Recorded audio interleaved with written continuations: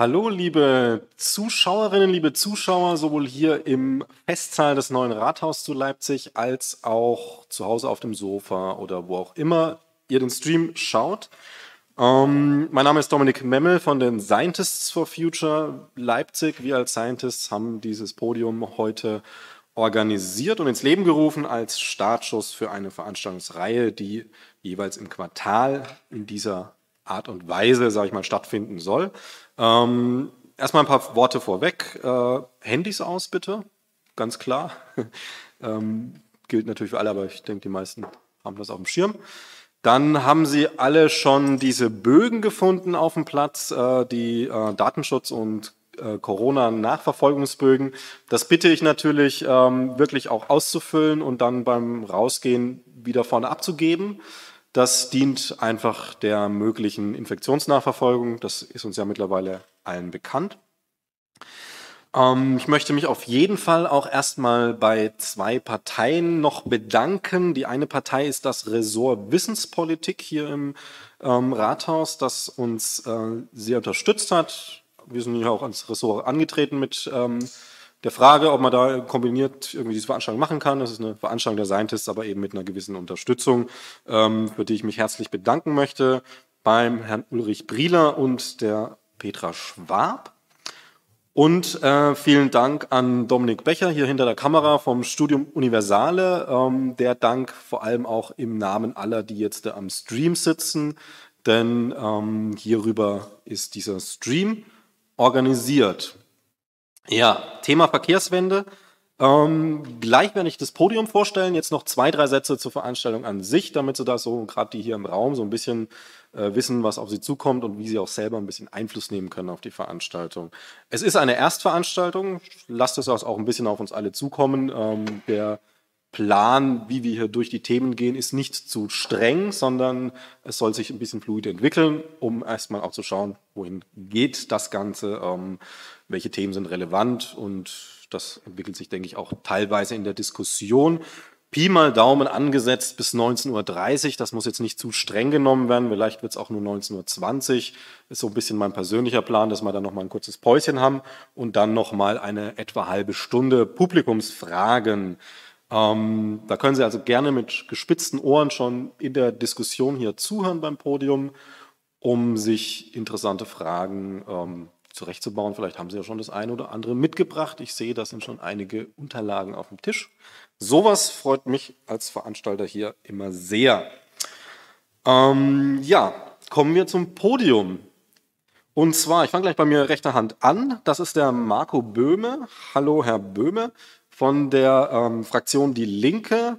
Wenn ich richtig informiert bin, stellvertretender Fraktionsvorsitzender auch der sächsischen äh, Fraktion im Landtag und Mobilitätssprecher, Experte. Wie weit kann man da so gehen?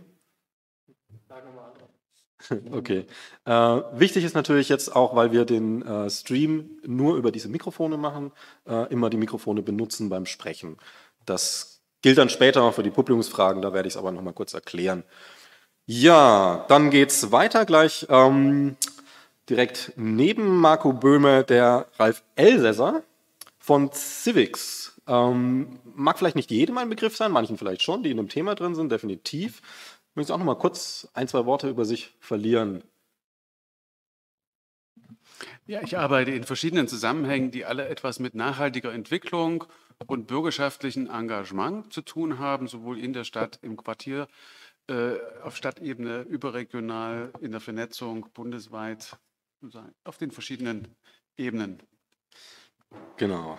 Das heißt auch einen sehr guten Überblick über diese ganzen Thematiken, ähm, um die es heute gehen wird. Am nächsten Platz sitzt der Ulf Mittelberg, Geschäftsführer von LVV und LVB. Das ist ja für uns besonders relevant heute. Falls Sie noch ein, zwei Sätze über sich sagen möchten, gerne. Ja, vielleicht nur um den Pfeil zu verlängern, LVV als Leipziger Gruppe eben dann auch in der Verbindung mit den Wasserwerken, den Stadtwerken für das Thema Energiewende. Denn die Frage, wie wir Mobilität organisieren, gerade bei einer Straßenbahnstadt wie Leipzig seit 100 Jahren elektromobil, hat natürlich immer auch viel mit Strom und Energie zu tun. Und dann schon seit mehreren Jahren eben in der LVB verantwortlich als kaufmännischer Geschäftsführer und äh, derzeit eben auch Arbeitsdirektor ehrenhalber äh, mit dem Ronald Jurst zusammen. Und dafür bin ich gerne in dieses Podium gekommen, freue mich sehr auf die Diskussion. Vielen Dank für die Einladung. Ja, ich habe mich auch wieder die Zusage gefreut. Es war quasi die letzte, die diese Woche noch reingeflattert ist ähm, und damit unser Podium komplettiert hat. Und dann geht es auch gleich weiter mit Christina Wey, Bündnis 90 Die Grüne, auch Fraktions Vize-Fraktionsvorsitzende äh, der Leipzig-Fraktion und dort Verkehrsexpertin. Wenn Sie auch noch ein, zwei Sätze richtig stellen oder erweitern möchten. Richtig stellen muss ich nichts. Äh, herzlichen Dank für die Einführung. Ähm, vielleicht noch so viel. Ich bin erst äh, seit dieser Legislatur Stadträtin, also ähm, seit einem Jahr hier sehr aktiv im Geschäft und war davor aber schon zehn Jahre im Südwesten Stadtbezirksbeirätin und habe insofern dort schon auch einen ganz guten Überblick, wie Politik und Leipzig und auch vor allen Dingen hier die Verkehrssituation funktionieren. Ja, vielen Dank. Das ist eine schöne Überleitung ähm, zu Herrn Thomas Dienberg, der auch, sage ich mal, vielleicht nicht neu in der Politik oder Stadtverwaltung ist, aber in Leipzig dann schon, nämlich unser ähm, Baubürgermeister seit diesem Jahr. Wenn Sie auch noch ein Wörtchen sagen möchten, bitte. Ja, ich sage auch gerne ein paar Worte zu mir. Ganz herzlichen Dank für die Einladung. Ähm, ich bin hier auch gerne gekommen. Ich bin ähm, seit gut sieben Wochen jetzt hier in Leipzig in der Funktion, kenne Leipzig durchaus aus anderen ähm, Perspektiven ähm, auch. Und ähm, bin Raumplaner von der Ausbildung her, habe ähm, relativ viel Erfahrung in Bau- und Planungsverwaltung und habe mich intensiv mit äh, dem Thema Verkehrswende befasst, äh, auch an meinen vorherigen Wirkungsstätten und insbesondere was die ähm, ja, was die Entwicklung des äh, Radverkehrs in Städten und vor allen Dingen Innenstädten angeht. Ja, Herr Dienberg, die Steilvorlage nehme ich dann auch gleich an und äh, leite über zu Alexander John von, und da sind wir eben beim Radverkehr, dem ADFC Leipzig. Ja, hallo, auch von mir. Vielen Dank für die Einladung. Und ein Satz zu mir. Ich bin schon seit mehr als zehn Jahren im Bereich Verkehrspolitik hier in Leipzig aktiv und habe daher auch ein bisschen Einblick, mache vor allem Radverkehrspolitik, aber auch ein bisschen ÖPNV. Ich saß mal eine ganze Weile im LVB-Fahrgastbeirat. Ja, das ist das Schöne. Man kennt sich ja auch teilweise schon durchaus auf dem Podium. Das gibt mir die Hoffnung, dass es auch durchaus konstruktiv wird, weil man sich die Bälle vielleicht hier und da auch zuspielen kann. Ähm, Herr Dienberg, ich würde mit Ihnen gerne mal anfangen, da Sie ja als Baubürgermeister, sage ich mal jetzt von allen hier, den direktesten Einfluss auf die zukünftige Gestaltung der Stadt, was eben Baumaßnahmen angeht, äh, haben. Und äh, ohne direkt ein Detail vorlegen zu wollen, sondern erstmal so ganz allgemein, vielleicht Stichwort auch Unfallgefahr, versiegelte Flächen, Feinstaub, was auch immer. Also ähm, dieses, dieser Themenkomplex lebenswerte Stadt. Äh, wie sehen Sie denn da Leipzig in Verbindung natürlich mit dem Thema Verkehr? Wie sehen Sie es momentan? Wie sehen Sie eine Entwicklung möglich? Ja, ich würde einfach erstmal versuchen, ein bisschen abstrakt anzufangen, versuche das dann auch durchaus nochmal auf, auf ganz konkrete Punkte hier, die mir hier in der Stadt aufgefallen sind, äh, dann vielleicht auch zu fokussieren. Ähm, ich finde Ihre Fragestellung erstmal ähm, völlig richtig. Also die Frage, was ist eine lebenswerte Stadt? Und da spielt natürlich das Thema Verkehr eine ganz entscheidende Rolle. Ähm, da spielen aber auch natürlich andere Themen äh, eine ganz entscheidende Rolle. Und äh, das ist für mich die Frage, ähm, wie wir ähm, stadtplanerische Probleme angehen. Nämlich wir sollten sie integriert angehen. Das heißt, ähm, dass wir bei äh, einzelnen Problemen äh, wirklich schauen, äh, welche äh, Fächer sind sozusagen betroffen. Da spielt der Verkehr eine Rolle, da spielt aber auch der Städtebau eine Rolle, die Verteilung des öffentlichen Raums spielt eine Rolle. Äh, da spielen Nutzungen äh, an den Rändern eine Rolle und das ist ähm, dann äh, immer auch ziemlich komplex. Und Ihre Frage habe ich jetzt so verstanden, ähm, inwieweit sozusagen ähm, Verkehr eben auch nicht oder, oder sozusagen gegen, gegen lebenswerte Stadt arbeitet und agiert. Und äh, das hat natürlich ganz viel mit, ähm, mit Lärm zu tun, das hat mit mit ähm, äh, ja, äh, Luftverschmutzung zu tun. Das hat was mit, mit Sicherheit zu tun und wie fühle ich mich äh, im, im, im, im, öffentlichen Raum eigentlich zu Hause als, als Verkehrsteilnehmer und nicht nur, ähm, äh, ich sag mal, als, äh, aus dem Blickwinkel einer ganz bestimmten Verkehrsart, sondern ähm, als Fußgänger, als Radfahrer. Ähm, ähm, so und ähm, da nehme ich Leipzig äh, durchaus aufgrund äh, der Kompaktheit äh, erstmal ähm, positiv wahr, weil das eine Stadt ist mit kurzen Wegen, ähm, weil das eine Stadt ist mit zum Teil einer hohen Dichte an Nutzungen ähm, und äh, äh, sozusagen für äh, eine lebenswerte Stadt erstmal gute Voraussetzungen bietet. Ähm, auf der einen Seite. Auf der anderen Seite führt das natürlich auch für Dichte ähm, und führt, ähm, führen kurze Wege natürlich immer auch äh, zu einer unheimlich hohen Beanspruchung ähm, ja, der, der, der Flächen, die dafür zur Verfügung stehen. Und das geht eben auch einher mit, ähm, äh, mit äh, Themen wie ähm, ja, zunehmenden Lärm, Verkehrslärm, ähm, aber eben auch äh, mit Themen äh, der Verkehrssicherheit. Und äh, das sind für mich äh, wesentliche Aspekte, die eine Rolle spielen. ganz grundsätzlich glaube ich, dass Leipzig auch verglichen mit anderen Großstädten äh, wirklich gut aufgestellt ist. Ähm, das heißt aber nicht, dass es nicht eben auch an ganz vielen Stellen noch äh, Luft nach oben gibt. Und das ist ja auch eine Aufgabe, der wir uns äh, im Rahmen der Klimaschutzbemühungen hier stellen, die im Übrigen auch in der ähm, Nachhaltigkeitsstrategie, in der Strategie zur Verkehrsmobilität 2030 eine ganz erhebliche Rolle spielt. Ja, vielen Dank. Da werden wir auf jeden Fall auch noch drauf kommen, auf das Thema Mobilitätsstrategie 2030. Ich würde jetzt nochmal das mit der Beanspruchung der Flächen äh, aufgreifen. Ähm, das ist ja dann doch, also vielleicht, wer sich direkt was da sagen will, geht an Sie oder natürlich auch das ganze Podium die Frage. Ähm, ist natürlich ein Unterschied, ob da jetzt äh, 20 Lkw in der Stunde drüber brettern und 150 Pkw oder halt dann doch ähm, eine Straßenbahn im Gleisbett, äh, im gut gepflegten Gleisbett oder eben Fahrräder. Das äh, macht ja durchaus einen großen Unterschied. Ist das auch so Bestrebungen, wo man sagen könnte, vielleicht auch Herr Elsässer aus Ihrer Sicht, ähm, dass hier ein Umdenken stattfinden muss, auch aus solch pragmatischen Gründen? Also ich denke, dass der Wert der Fläche, wir in, den wir in der Stadt haben, äh, dass das der ähm, deutlich stärker ins Bewusstsein kommen muss über eine Inwertsetzung, über Gebühren für die Inanspruchnahme von Flächen, ähm, durch eine intensive Auseinandersetzung über die Nutzung äh, von verfügbarer Verkehrsfläche. Äh, wir, wir, kommen aus einer Situation, wo sehr viel Platz in der Stadt war, wo das alles nebeneinander irgendwie passte noch. Und wir sind jetzt sehr schnell in relativ kurzer Zeit äh, in eine sehr viel stärkere Verdichtung hineingewachsen und müssen uns jetzt klar darüber sein, dass nicht genug Fläche da ist, um alles nebeneinander zu platzieren. Und ein Teil des Stapelns, ein Teil des äh, Wegräumens aus dem öffentlichen Raum geht nur über eine Inwertsetzung. Und ich glaube, diese Debatte müssen wir führen, dass öffentlicher Raum einen Wert hat und dass man dafür auch äh, etwas zahlen muss, wenn man den für sich privat in Anspruch nehmen will.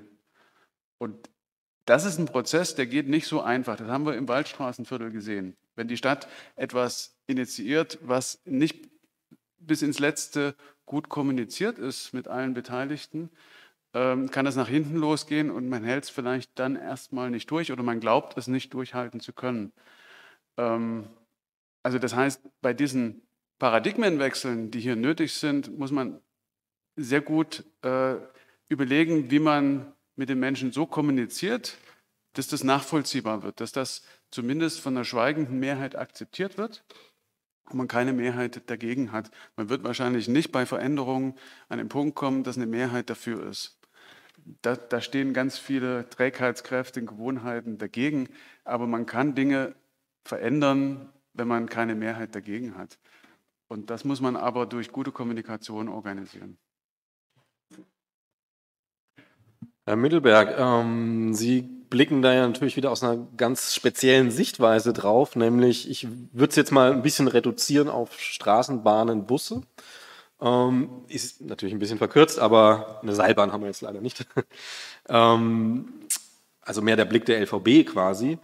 Äh, sind, sehen Sie dieses immer weiter steigende Autoaufkommen, Pkw-Aufkommen? Das ist übrigens das, was Sie auch meinten mit äh, bezahlter Nutzung von öffentlichen Flächen, wahrscheinlich die äh, Stellplätze für Pkw als Stichwort.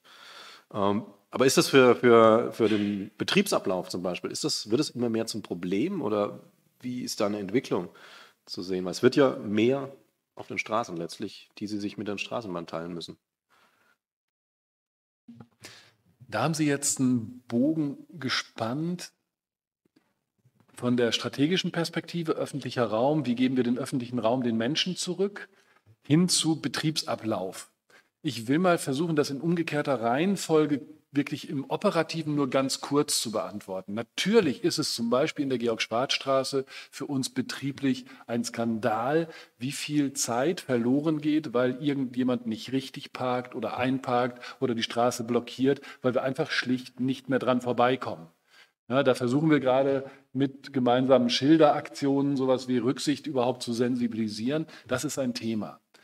In der etwas weiteren Perspektive ist ganz eindeutig evident, dass die Verfügbarkeit von Parkplätzen und die Kostenwahrheit für Verkehrsmittelwahl eine ganz zentrale Rolle spielen. Das heißt, wenn Bus und Bahn letztlich ja bei der Verkehrsmittelwahl sich auseinandersetzen mit kostenfreien Parkplätzen im unmittelbaren Innenstadtbereich. Und in Leipzig geht es von jeder Haltestelle auf dem Ring erstmal über eine Parkhauseinfahrt in die Stadt hinein. Das heißt, Menschen, die mit Bus und Bahn kommen, überqueren immer eine Parkhauseinfahrt. Das sind natürlich Wettbewerbsbedingungen, die wir uns deutlich anders wünschen. Das ist sicher so. Und in der längeren strategischen Perspektive würde ich den Blick tatsächlich nochmal auf Mobilität lenken, also über Bus und Bahn hinaus. Denn wir sehen ja eine Reihe, ich würde es mal etwas flapsig von Heilsversprechen nennen, sei es von Fahrdiensten, die dann zwar sagen sie poolen Nachfrage, aber in Summe zu mehr Pkw-Verkehr führen und das automatisierte Fahren, manche sagen autonom, ich hoffe, das passiert nie, sondern die Entscheidungen mögen immer noch Menschen treffen, aber das automatisierte Fahren, das über ein Premium-Segment in den Pkw-Bereich hineinkommt und wenn ein Auto morgen dann ohne Fahrer nach Hause zurückkehren kann, und das wird nicht Teil des öffentlichen Verkehrsangebotes, wird zu mehr Verkehr führen und wird Teil des Problems sein und nicht Teil der Lösung. Und nachdem wir unsere Autobahnen ein Stück zu rollenden Lägern gemacht haben, in der Logistikoptimierung, sollten wir einfach unsere Stadtstraßen nicht zu rollenden Parkplätzen machen, weil da lauter leere Autos irgendwie auf der Suche nach Fahrgästen unterwegs sind. Das ist für uns dann auch eine LVB-Perspektive, weil wir uns als Mobilitätsdienstleister verstehen auf den Weg gemacht haben. Und ich gebe gerne zu, wir sind noch an längst nicht allen Stellen am Ziel, überhaupt nicht. Aber wir haben mit der Mobilitätsplattform, mit der Idee Flexa in Wiederitsch näher an die Menschen ranzukommen, auch in zentrumsfernen Stadtgebieten und mit den entsprechenden Netzerweiterungsplänen, die wir ja auch dankenswerterweise im Stadtrat sehr intensiv äh, unterstützt sehen. Da sind wir Dienstleister der Stadt und machen uns hier auf den Weg. Das ist mal der Versuch, diesen großen Bogen, den Sie gespannt haben, zu, zu äh, bilden. Und Herr Böhm, wir haben in der Strategiekommission auf Landesebene gesessen und da äh, gehen solche strategischen Bögen eben sehr schnell in den äh, realpolitischen Modder, aber das wäre dann nicht so sehr meine Rolle, das zu beantworten.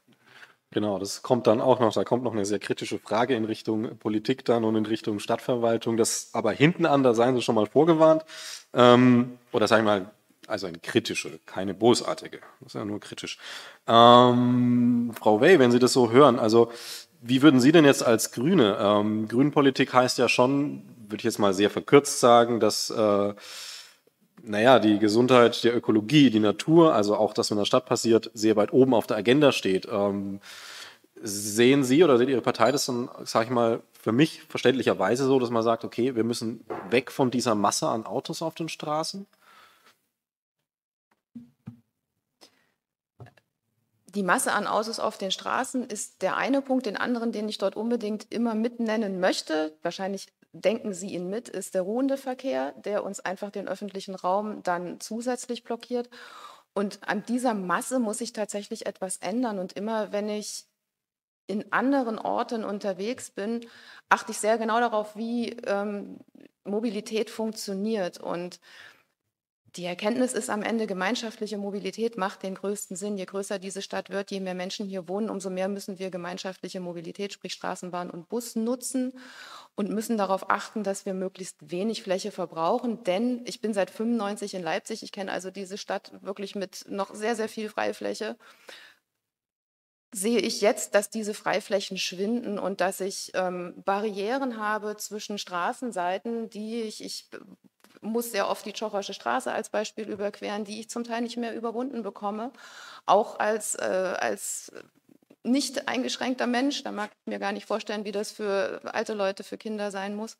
Ähm, und das ist ein, ein, Problem, an dem wir auch als Partei hier arbeiten möchten und die Vision haben, dass die Stadt den Menschen gehört, und zwar den Menschen, die sich draußen bewegen, die ihr Miteinander auch außerhalb ihrer Wohnungen leben wollen und müssen, was wir jetzt auch in der aktuellen Zeit sehen, dass es mehr gewünscht genutzt wird, dass man auch den Gefallen daran findet. Und gerade jetzt, finde ich, merkt man, wie der Platz bei uns sehr, sehr knapp wird im öffentlichen Raum. Ich weiß zum Teil nicht mehr, wo, an welchen Stellen ich noch Straßen überqueren soll, wo ich ähm, wo ich mit einem Kinderwagen noch einen Platz finde und ähm, wie ich draußen im öffentlichen Raum zusammenkommen soll. Und deshalb beide Punkte, den Verkehr zu bündeln und äh, sozusagen diese Straßenbarriere des fließenden Verkehrs aufzulösen und aber eben auch den, den ruhenden Verkehr ähm, tatsächlich deutlich zu minimieren und zu sagen, ich möchte diese Flächen auch wirklich sehr, sehr gerne für etwas anderes nutzen. Also das wäre, wäre meine bündnisgrüne Wunschvorstellung, auch tatsächlich dort sehr gern Raum umwidmen. Ich weiß gar nicht, ob man das so sagen kann, ob es wirklich als Parkfläche gewidmet ist. Das müsste man dann eben auch nochmal hinterfragen. Es ist öffentlicher Raum und wie wir eben schon hatten, er sollte wenigstens bepreist werden, aber ich finde auch, er muss freigelenkt werden für die Menschen, die sich dort aufhalten möchten. Haben Sie dann da eine konkrete Idee oder einen Gedanke, der vielleicht auch schon ein bisschen äh, weiter fortgeschritten ist, in was man solche Flächen dann umwidmen könnte? Ich habe eine konkrete Idee, die ich ähm, schon seit längerer Zeit eher in einem privaten Bereich betreibe, ähm, gar nicht als Stadträtin, aber das wäre eine Vorstellung für mich. Es gibt ähm, eine sehr spannende Möglichkeit, aus, Park, aus Parkplätzen einfach alternative Flächen zu machen. Dazu sagt man Parklet. Und ähm, ich versuche hier gerade in, in, in Leipzig äh, im Übrigen mit sächsischen Fördermitteln. Wir sind für das Projekt tatsächlich mit Fördermitteln bedacht worden, ein Parklet zu schaffen, gern auch mehrere. Ähm, wir haben da ganz konkret die Georg-Schwarz-Straße im Blick wo wir die nun auch gerade hatten, und einfach den Raum den Menschen zurückzugeben. Man kann auf diesen Flächen Grün pflanzen, was man in äh, Straßen, die wenig Straßengrün hat, dringend braucht. Ähm, ich habe Parklets schon gesehen. Da wurde einfach für die kleinsten hinter, die werden dann baulich abgetrennt, wurde eine Sandkiste gebaut einfach vor der Haustür in einem Quartier in Stuttgart, wo es wahnsinnig wenig Grün und Aufenthaltsqualität für Kinder gibt. Ähm, man schafft in den USA auf solchen Flächen beispielsweise ähm, offene Büros, die jeder nutzen kann, die auch eine, einen WLAN-Hotspot haben, beispielsweise tatsächlich Flächen zum Arbeiten, weil viele Menschen nicht genügend Räume zum Arbeiten finden. Also das ist so eine ganz es ist eine spielerische, aber doch eine spannende Möglichkeit, um einfach in der Praxis zu sehen, was kann ich vor meiner Haustür tatsächlich tun und wie kann ich diesen Raum auch konkret anders nutzen. Das ist immer angelehnt an, an diese Idee des Parking Days, aber sowas eben dann zu verstetigen. Und dazu gibt es durchaus Möglichkeiten, auch ähm, in einem Genehmigungsverfahren ist es letzten Endes wie eine Sondernutzung von einer Fläche, ob ich sie nun als Parkplatz nutze oder als kleine Spielecke oder als eine, eine Ecke für die Nachbarschaft. Das ist so ein konkreter Plan, was man, was man tun könnte. Ansonsten vielleicht auch einfach Bereiche entsiegeln und grün bepflanzen. Ich glaube, das ist etwas, was wir auch vor dem Hintergrund des Klimawandels äh, brauchen, tun sollten. Die Stadt erweitert ja gerade wieder massiv ihren Straßenbaumbestand und das könnte man ja durchaus noch weiter steigern mit noch mehr Standorten für Grün in den Straßen, die deutlich wärmer sind, wenn kein Grün dort steht.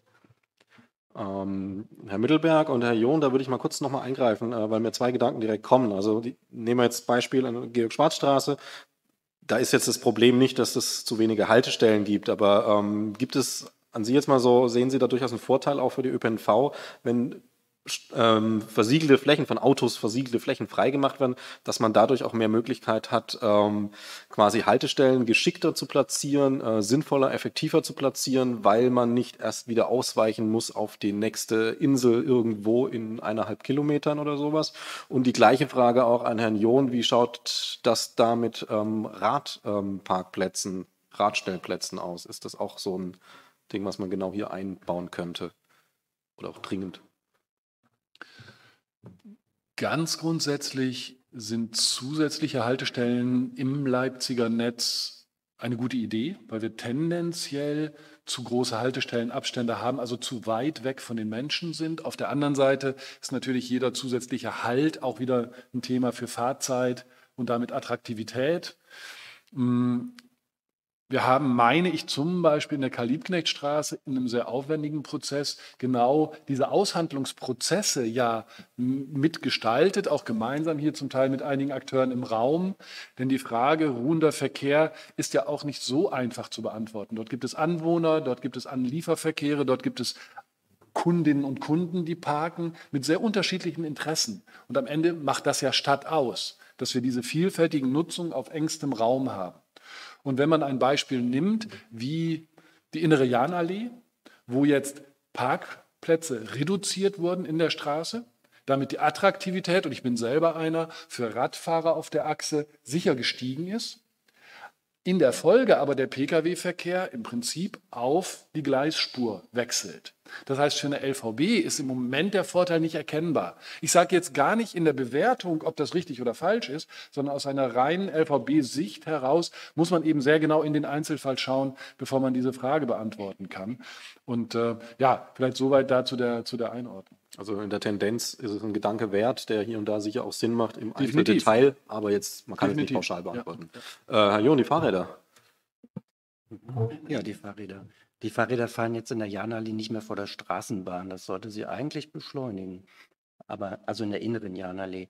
Ähm, aber ähm, zum Fahrradparken als solches, selbstverständlich ist es ähm, hilfreich, im öffentlichen Raum Fahrradbügel zu haben. Ähm, und Pkw-Stellplätze kann man theoretisch auch umwidmen äh, zu Fahrradstellplätzen.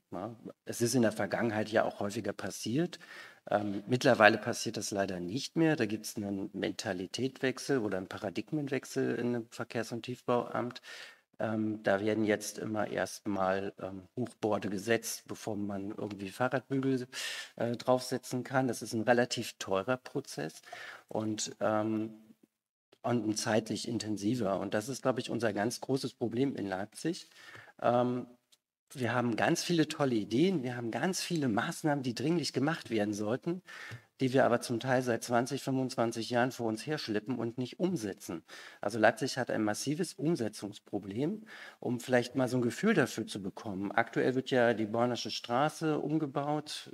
Ähm, diese Maßnahme ist aus dem Nahverkehrsplan 1998 und sollte spätestens 2005 umgesetzt sein. Ähnlich ist es mit der Rosa-Luxemburg-Straße, die aktuell umgebaut werden sollte. Die sollte auch 2005 schon umgebaut werden. Ähm, also man merkt, wir schieben sehr viele Sachen sehr, sehr lange vor uns her.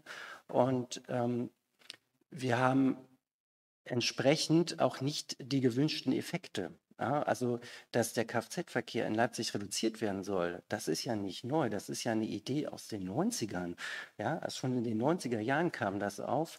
Ähm, wir sind dahingehend aber nicht so erfolgreich, wie wir uns das damals, wie sich der, der Stadtrat das ja in den 90ern schon gewünscht hat. Und wir müssen schauen, wie wir Maßnahmen ähm, identifizieren, die relativ wenig Aufwand ähm, bedeuten, aber schnell umsetzbar sind. Beispielsweise die Bevorrechtigung der Straßenbahn ist in Leipzig ein Riesenthema, ähm, normalerweise. Umgesetzt ist es nicht. Also wenn man jetzt mit der Straßenbahn durch Leipzig fährt, steht man im Prinzip an sehr, sehr vielen Ampeln. Es gibt ein Vorsignal. Wenn ich jetzt äh, in der, auch in der Bornerschen Straße, ich habe ein Vorsignal, also die Straßenbahn ein Vorsignal, aber sie bekommt nicht grün. Sie steht, bis der Kfz-Verkehr, also wieder Kfz-Verkehr und kann nicht fahren. Ähm, das sind die Zeiten, die am Ende dazu führen, dass Straßenbahn unattraktiv ist, als es sein müsste. Und ähm, das führt auch dazu, dass wir mehr Straßenbahnen einsetzen müssen, als wir eigentlich einsetzen müssten, wenn die Straßenbahn bevorrechtigt wäre. Und das erhöht die Betriebskosten. Das ist also für die LVB auch ein großes Problem, würde ich mal spontan sagen. Aber da kann Herr Mittelberg vielleicht noch was zu sagen. Ja, gerne. Dann ähm, lassen Sie gerne auch beide Mikrofone an. Wenn es wild wird, gehe ich schon dazwischen. Das kann passieren, Herr John, ne, bei uns, dass es manchmal etwas hitziger wird. Aber das ist das Gute, dass wir dann eben auch in solchen Runden immer wieder uns an Punkten treffen, weil es um ein gemeinsames Ziel geht. Und dieses von Ihnen zuletzt beschriebene Ziel ist ja auch im Nachhaltigkeitsszenario beschrieben. Erhöhung der Durchschnittsgeschwindigkeit bei Bus und Bahn. Und ja, wir verfehlen das gerade. Wir werden langsamer. Und das ist richtig eklig. Das kostet jetzt im, im aktuellen Planungshorizont vier bis fünf Millionen Euro in der Mittelfristperspektive, weil wir zusätzliche Fahrzeuge und vor allen Dingen eben auch zusätzliches Personal brauchen, wenn wir langsamer werden. Das ist ganz einfach von der Attraktivität für Kundinnen und Kunden mal ganz abgesehen. Möchte aber wirklich, und ich werde nicht müde, möchte sagen, ähnlich Herr Dienbeck wie Sie jetzt nach ein paar, paar Wochen, sage ich das auch noch nach neun Jahren. Ja, wir können sagen, es geht zu langsam. Wir können aber auch uns die Frage stellen, wo kriegen wir denn Energie her, um weiter für diese gemeinsamen Ziele zu kämpfen? Und da werde ich nicht müde, uns einzuladen, in diesem Jahr zu sehen, dass die Rosa-Luxemburg-Straße gebaut wird, dass ein Gördelerring gebaut wird für rund 19 Millionen, dass ein Waldplatz gebaut wird, dass eine Bornasche Straße gebaut wird. Das kann uns auch, finde ich, den Mut geben, dass wir in die richtige Richtung unterwegs sind und Dinge auch schaffen hier gemeinsam weil das nicht selbstverständlich ist. In einer Situation, wo wir gerade absehbar 18 Millionen unter Wasser sind als LVB, wo wir einen Rettungsschirm sehen, der auf 70 Prozent zusammengedampft wird. Wenn ich jetzt zu operativ werde, sehen Sie es mir nach. Das treibt uns einfach im Moment gerade um. Und wir schaffen es in der Gruppe, gemeinsam im Teamplay, trotzdem weiter diese Investoffensive zu treiben. Und wir haben Konzepte, wie die Hauptachsen modernisiert werden können, wo wir im Kanal anfangen, dann die Medien auf der Energieseite mitverlegen, wo wir als LVB alleine mit 250 Millionen drin sind. Die Stadt ist Seite an Seite mit dabei. Wir reden über 650 Millionen bis 2030. Und das wollen wir aufrechterhalten. Ob das gelingt, angesichts der Diskussionen, die gerade aus dem Landeshaushalt auf uns runterschwappen, ist eine Frage. Aber wir gehen eben auch so weit in Richtung Netzerweiterung zu denken. Und die Energie, zumindest bei mir persönlich, kommt aus dem, was schon gelungen ist bis hierher. Wenn wir nur auf das gucken, da bin ich nochmal bei unserer Strategiekommission, ja, wo wir gemeinsam gesagt haben, so könnte ein Wachstumspfad aussehen. Ja, dafür brauchen wir eine Menge Energie nach wie vor. Und um die 70 Prozent Corona-Schadensausgleich auf 100 zu kriegen, brauchen wir auch noch eine Menge Energie. Und da fahre ich immer gerne am Gördlerring vorbei oder an der Rosa-Luxemburg-Straße, weil man einfach sieht, was da passiert. Ähm, Herr Böhme will gleich was sagen. Ich würde noch mal kurz das dazwischen schieben, weil also natürlich ist es aller Ehren wert, äh, positiv in die Zukunft zu blicken, aber ähm, Corona auch noch mal ein Faktor, gar keine Frage. Die Sachen, die Herr Jonitz gesagt hat, sind ja schon ein paar Jährchen, paar Jährchen länger alt als das, die Corona-Problematik. Und ähm, läuft man nicht Gefahr, äh, wenn man, sag ich mal, die scheit die Punkte, an denen man scheitert. Ich meine, jeder, jeder Mensch macht Fehler, darf man nicht vergessen. Es ist menschlich. Jede, jede Firma besteht aus Menschen letztlich, äh, jede Partei und so weiter. Aber ähm, ist es nicht einerseits, äh, um die Menschen mitzunehmen und auf andererseits, um auch selber nicht wieder zu scheitern, nicht doch sinnvoll, auch sich genau das genau anzuschauen, wo man eben nicht weiterkam, wo eben diese Problematiken bestehen?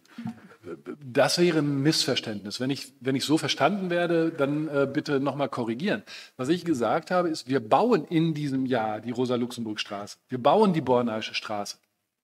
Und jetzt zu sagen, gucke ich nach hinten und sage, das hätte aber schon früher sein müssen, oder sage ich, mindestens das ist mal gelungen. Das war mein Punkt. Dass wir Fehler machen, zugestanden, ja, dass wir noch nicht überall an der Stelle so weit sind, wie wir gerne sein würden, völlig zugestanden. Ja, dass wir eine eine Dieskaustraße haben, eine Waldstraße haben, eine, eine Lärmentwicklung auf Großverbundplatten, die äh, seit 30, 40, 50 Jahren eigentlich ausgebaut gehören. Alles zugestanden. Die Frage ist nur, wo kommt der Antrieb her, einfach ähm, diese Dinge auch weiter zu verändern. Genau, da auf der anderen Seite ist natürlich, wo kommt dann die Sachlichkeit? Aber das ist jetzt ein bisschen hart gesagt, aber um die andere Sicht zu sehen, weil ich finde die schon wichtig, wo kommt die Sachlichkeit her, wenn man die Probleme nicht wirklich ähm, auch schmerzhaft analysiert letztlich? Wobei ich Ihnen gar nicht unterstellen will, dass Sie das in der LVB nicht tun. Nur weil es jetzt eben auf der kommunikativen Seite ein bisschen runtergefallen ist. Na gut, aber da nochmal eben ganz kurz, die zeitliche Einordnung dieser Baumaßnahmen ist kein LVB-Thema. Jedenfalls nicht alleine und jedenfalls auch nicht zuvörderst. Also da gehe ich in jedes Projekt nochmal rein und gucke in die Chronologie. Da sind wir gemeinsam unterwegs. Aber ich will hier auch nicht das Finanzierungslamento singen.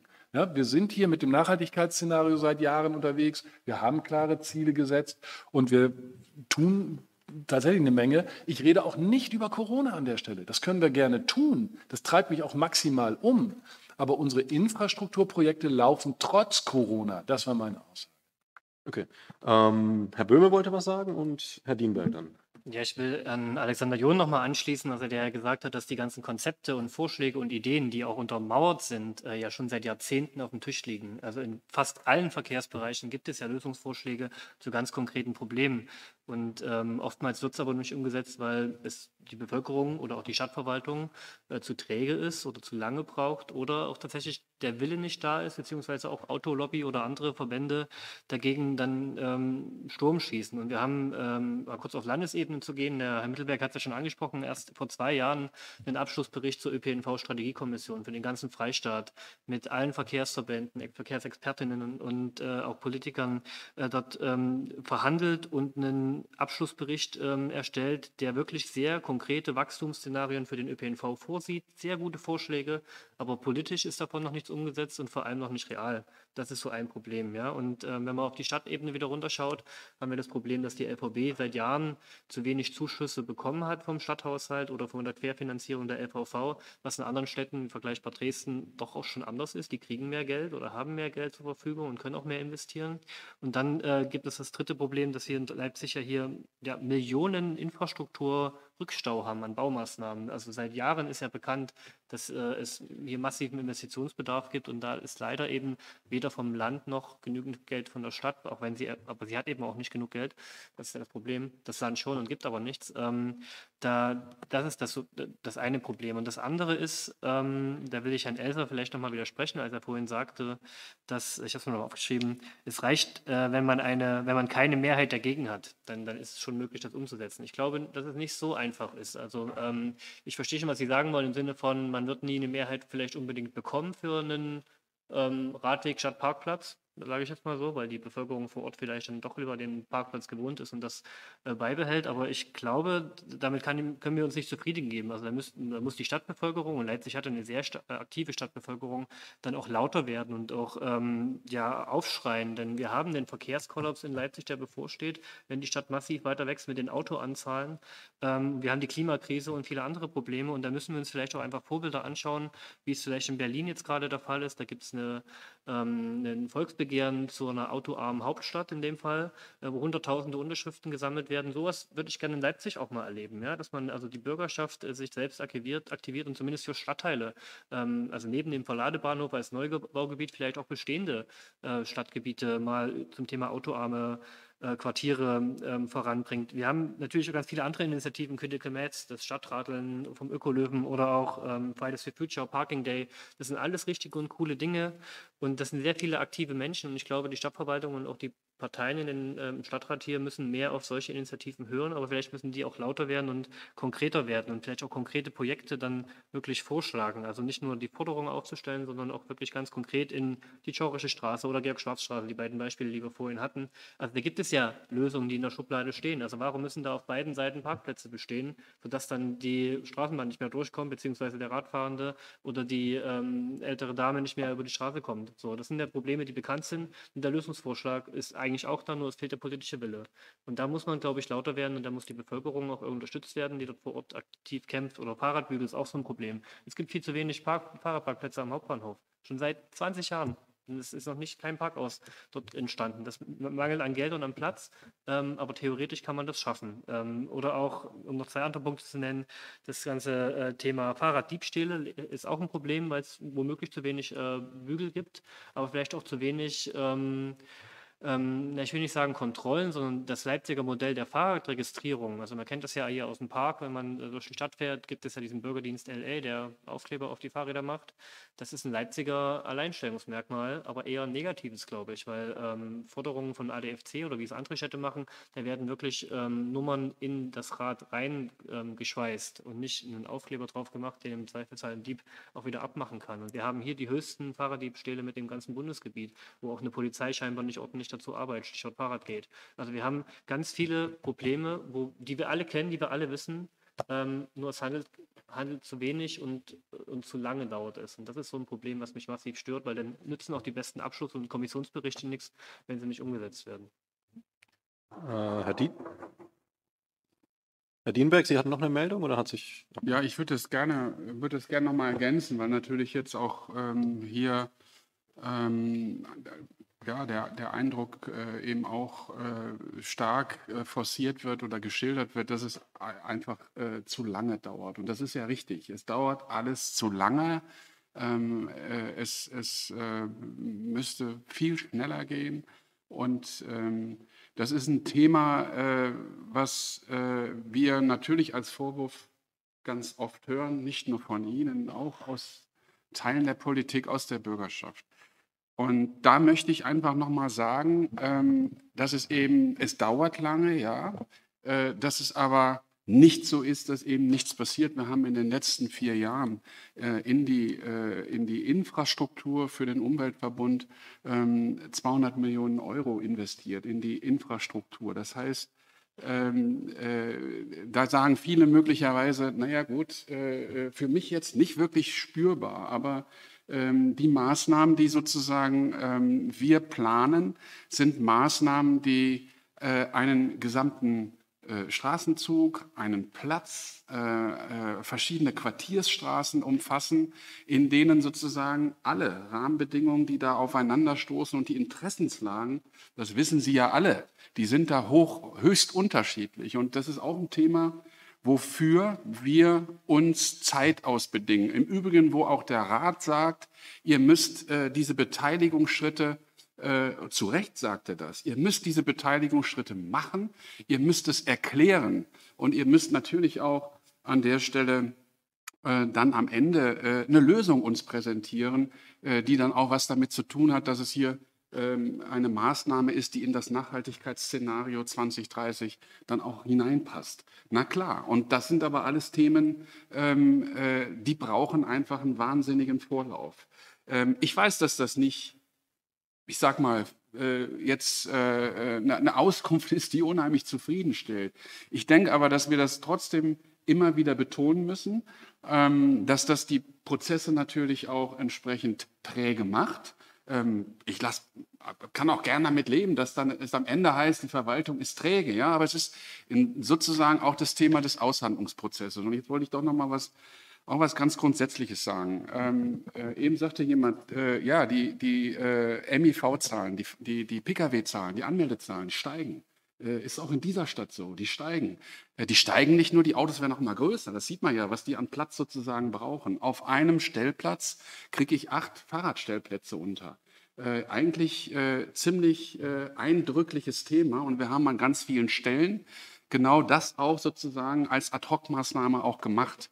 Ähm, das ist ähm, das, das macht nochmal deutlich, äh, dass es wirklich darum geht, ähm, den, den, den zur Verfügung stehenden Raum neu auszuhandeln. Und ähm, das ist eben, da zerren ganz viele dran. Und äh, äh, oftmals haben wir auch in äh, Hauptverkehrsstraßen, wo wir eine Straßenbahnführung haben, die Diskussion, ähm, führt da die Straßenbahn auf einen eigenen Gleiskörper? Ähm, weil der Mittelwerk sagt, ja, das muss so sein. Wir wollen nämlich den ÖPNV stärken, wollen wir auch. Umweltverbund muss gestärkt werden und die Straßenbahn muss deshalb ähm, komfortabel und zügig fahren. Äh, wir haben ja gerade gehört, dass es eher im Moment eher anders ist. Dann kommen andere und sagen, ja, muss das denn so sein? Da gibt es ja einige Beispiele, auch im Waldstraßenviertel. Ähm, muss das denn so sein, dass wir diesen Raum, diesen öffentlichen Raum äh, in breite Verkehrsschneisen packen und eigentlich wenig Aufenthaltsqualität, nicht wirklich schöne Räume entstehen?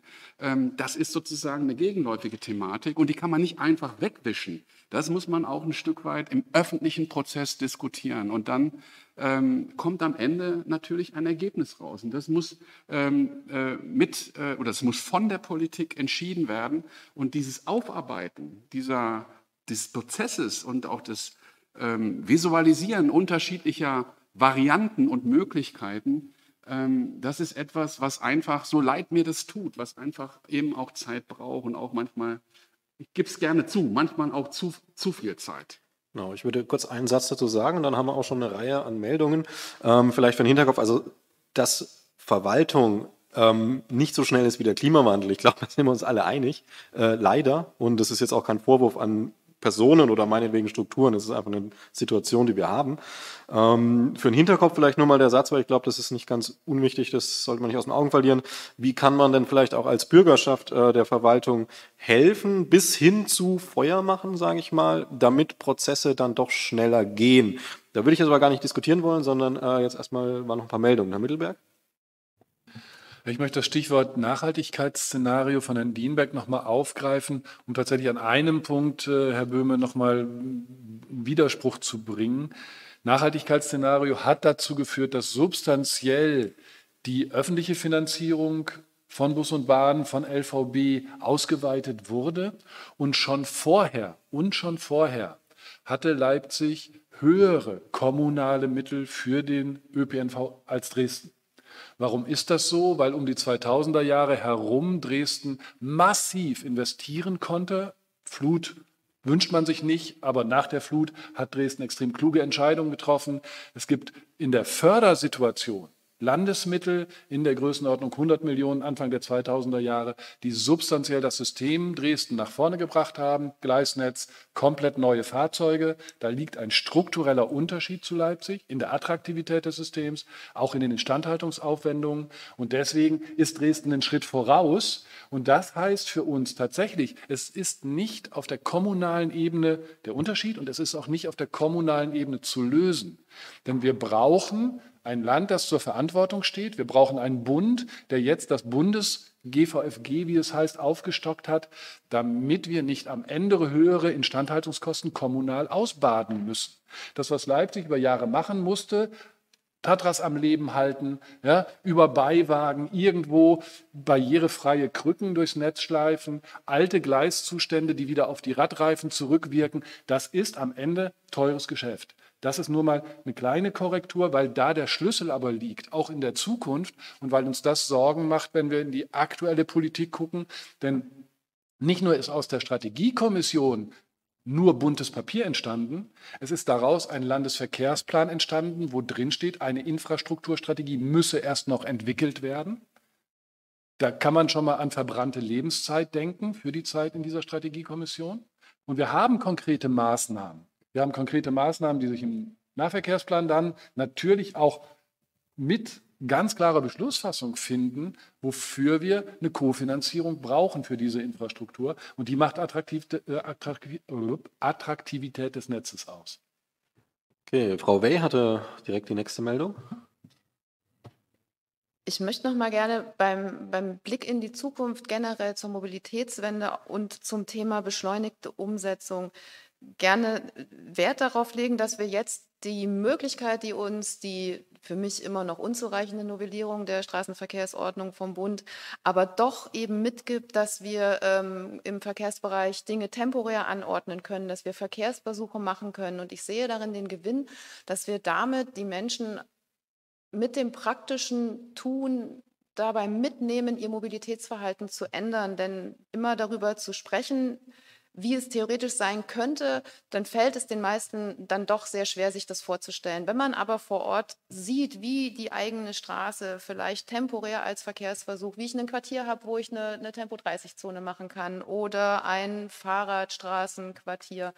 Wenn ich das jetzt dadurch eben deutlich schneller umsetzen kann, indem ich Versuche mache, glaube ich, können wir im täglichen Leben erfahren, dass die Mobilitätswende für uns tatsächlich ein Gewinn sein wird. Und ähm, ich nehme das auch wahr, dass das selbst Autofahrer, die sehr eingefleischt so sind, so sehen, wenn sie das im, im, praktischen Leben ausprobieren, sei es vielleicht mal äh, zu Besuch in einer anderen Stadt oder eben doch mit einem Versuch vor der Haustür, dass man doch sehr, sehr schnell den Wert erkennt und man kann ihn eben nur dann erkennen, wenn er umgesetzt ist. Und deshalb brauchen wir diese beschleunigte Umsetzung, die bringt eben tatsächlich die Zufriedenheit, die bringt, dass ich die Menschen mitnehmen kann. Und ich möchte, dass wir das in Leipzig fokussieren und sehr stark schauen, was können wir an Verkehrsversuchen, an temporären Maßnahmen machen, das auch wiederum den Vorteil hat, ich kann auch hinterher schauen, wie hat es wirklich funktioniert, wie kann ich es, wenn ich in den, es in den festen Bestand übersetzen möchte, mit einer großen finanziellen Investition, welche Fallstricke, die in der Praxis vielleicht erst zutage kommen, kann ich dann auch wieder ausbügeln und kann sagen, ich passe die Planung auch nochmal an. Ich würde mich sehr freuen, wenn wir dort jetzt äh, dieses Instrument, was uns gegeben wurde, auch verstärkt nutzen können. Ähm, ich würde die Reihe dann gleich so weitergehen. Vorher noch, ähm, also Herr John hatte sich zuerst gemeldet, dann Herr Elsässer, dann Herr Böhm. Ähm, ich würde das dann aber als abschließende Kommentare erstmal zu diesem lockeren Block ähm, nehmen, da wir dann auch noch zu ein paar gerahmten Themen kommen. Herr John. Ähm, ich will noch mal auf ein konkretes Problem hinweisen. Ähm, die Infrastruktur in Leipzig wird auf Verschleiß gefahren. Es wird erheblich zu wenig gebaut. Ähm, um vielleicht mal so ein Gefühl zu bekommen, so eine Hauptverkehrsstraße wird theoretisch alle 40 bis 50 Jahre umgebaut. Wenn wir über das Jahr 2030 reden, reden wir über einen Zeitraum, wo man theoretisch alle Hauptverkehrsstraßen in Leipzig umgebaut haben müsste. Wir wissen heute, dass äh, wir, dass das, also seit der Wende, wir wissen heute schon, dass das definitiv nicht der Fall gewesen sein wird. Ähm, und wir haben äh, ein Straßenbahnnetz, wo man sagt, so alle 20 Jahre muss das Straßenbahngleis erneuert werden. Auch das schaffen wir nicht in Leipzig. Ja? Wir haben gut 300 Kilometer, das heißt, wir müssen jedes Jahr 15 Kilometer erneuern. Ja, ich weiß, Herr Mittelberg, das sehen Sie anders. Die LVB machen es ja auch anders, sie praktizieren es anders, einfach weil sie es nicht schaffen. Das heißt, wir haben deshalb ja auch ein relativ äh, akuten, äh, akutes Anwachsen der Langsamfahrstellen im Gleisnetz. Wir haben sehr, sehr viele Straßen, die in einem katastrophalen Zustand sind. Und das ist eben nicht nur die Dieskau-Straße oder die Schorasche Straße.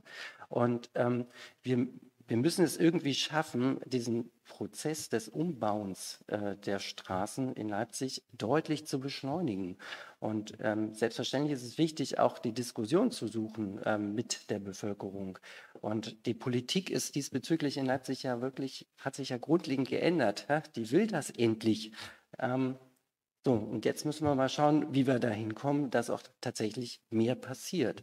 Also, obwohl Sie ja Ihre 200 Millionen Euro in den letzten vier Jahren umgesetzt haben, es ist deutlich zu wenig. Und ähm, wir scheitern, also Leipzig scheitert wie viele andere Städte auch daran, dass sie nicht genug Baufirmen finden, um zu bauen. Also auch hier muss die Stadt Leipzig schauen, wie sie dahin kommt, äh, dass sie mehr bauen kann, indem sie vielleicht einen eigenen Bauhof sich besorgt oder so, der, der dann wenigstens kleinere Sachen machen kann. Also ähm, worauf ich nochmal hinaus machen will, wir brauchen eine Strategie, ähm, die einerseits natürlich die Vision im Blick hat und andererseits auch, zu, wo man sagt, so, okay, wir haben wir, wir, wir gucken mal das, was, was man sofort machen kann ähm, und versuchen, weil immer nur zu sagen, hey, das ist dann irgendwann 2030, das ist zu lang. Ähm, das Thema Klimawandel ist ein ganz, ganz großes Problem. Und Leipzig erwischt das volle Kanne, weil wir immer noch keine Strategie haben zur Anpassung an den Klimawandel. Die gibt es nicht. Das ist nicht ihr Defizit, ist auch nicht ihr Dezernat, das das Defizit hat, ist ein anderes Dezernat. Ähm, aber wir müssen jetzt endlich mal zu Potte kommen. Ähm, ich, auch wenn, wenn Sie jetzt äh, mit den Fingern zucken, verständlicherweise vielleicht, weiß ich nicht, da sind Sie beide, glaube ich, tiefer im Thema drin, würde ich jetzt trotzdem diese Reihenfolge erstmal zu Ende machen. Das war erst Herr Elsässer, dann Herr Böhm. Aber wenn Sie abgeben wollen.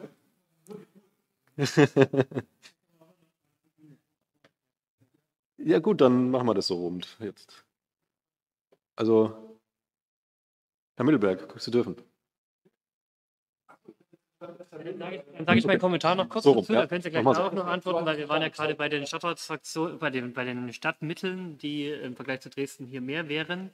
Ähm, ich wollte vorhin darauf hinausspielen, dass ähm, der Stadtrat sich doch in, vor zwei Jahren durchgesetzt hat, dass die Zuschüsse erhöht werden in Leipzig endlich und im Gegenzug zum Beispiel die Fahrpreise nicht mehr erhöht werden. Das war ja ein langer Kampf, den da auch die Linke zum Beispiel geführt hat und am Ende auch eine Mehrheit bekommen hat, dass also die Fahrpreise nicht mehr erhöht werden und im Gegensatz die äh, Zuschüsse äh, ähm, vom Stadthaushalt bzw. vom Querverband ähm, kommen. Und das hätte ich mir schon viel eher gewünscht. Das ist das eine. Ansonsten gebe ich Ihnen recht, und das ist ein Grundproblem in Sachsen, dass sehr viele Landesfördergelder nach Dresden fließen oder in Region Dresden bleiben und auch nach der Flut tatsächlich viele Infrastrukturprojekte gebaut werden konnten, ähm, weshalb die Dresdner Verkehrsbetriebe zum Beispiel heute nicht mehr so einen hohen Investitionsbedarf haben wie vielleicht Leipzig. Wenn ich Sie richtig in Erinnerung habe, bei der ÖPNV-Strategiekommission haben Sie mal, glaube ich, gesagt, waren es 100 Millionen, die in Leipzig an Investitionsstau ähm, im Raum stehen, die äh, ge gedeckt werden müssen. Und da braucht man natürlich nicht nur das Geld, sondern auch die Baufirmen. Der Herr John hat es ja auch gerade gesagt, den eigenen Bauhof finde ich da auch einen richtigen Vorschlag. Äh, aber letztendlich muss das Geld, vor allem vom Land, dann auch jemand nach Leipzig fließen. Und äh, Rettungsschirm ist so ein Ding, was Vielleicht auch noch zwei Sätze dazu. Also Corona hat Einnahmeausfälle bei den Verkehrsverbänden in ganz Sachsen von über 100 Millionen Euro verursacht, weil einfach weniger Fahrgäste, Tagestickets äh, gekauft wurden. Äh, die Bahnen aber trotzdem gefahren sind, teilweise mit größeren Fahrzeugen, also mehr Kosten, mehr Hygieneaufwand und so weiter. Und das Geld wurde bundesweit äh, von den meisten Bundesländern zu 100 Prozent und eigentlich allen Bundesländern außer in Sachsen äh, erstattet. Das heißt, die, äh, das Geld kam vom Bund an die Länder und die Länder haben es weitergegeben an die Verkehrsverbünde zu 100 Prozent. Nur in Sachsen wird es zu 70 Prozent weitergegeben und äh, der Rest müssen die Kommunen oder Verkehrsverbände selber äh, machen. Und das ist so ein Grundproblem bei der Finanzierung in Sachsen beim Thema Verkehr, dass einfach das Geld, Regionalisierungsmittel, zweite Thema, es gibt also Bundesgeld jedes Jahr über 500 Millionen und davon gibt Sachsen halt auch nur 80 Prozent weiter an die, an die Verkehrsdienstleister. Und das sind solche Probleme, wo dann eigenes Landesgeld nicht mehr genutzt wird oder hinzugegeben wird, um Schülerverkehr zu finanzieren oder um touristischen Verkehr zu unterstützen, sondern dieses Bundesgeld. Und das sind einfach falsche Entscheidungen auf der Landesebene in dem Fall, die dann solche konkreten Probleme hier in der Kommune, selbst wenn es eine Mehrheit gibt und selbst wenn die Verwaltung dazu arbeiten will, es am Ende vor allem am Geld mangelt oder an Firmen oder an ja, konkreter Umsetzung. Das ist sehr schade.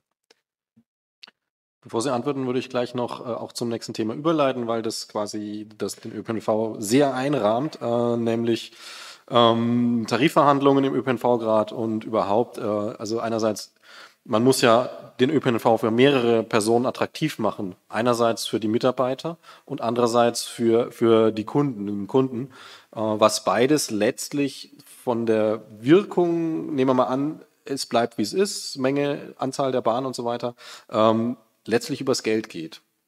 Das nur mal schon als Bahn, wo es dann weiter hingeht. Aber Sie hatten ja noch hier was zu klären, quasi. ja, das will ich gerne, gerne versuchen, um Ihnen dann den Ball auch wieder rüber zu spielen. Ähm, in der Tat sind die 100 Millionen, Herr Bim, die Sie sagen, aus der Strategiekommission eine Summe, die wir für die wachsende Stadt Leipzig brauchen, um über den Substanzerhalt hinaus in Wachstum investieren zu können.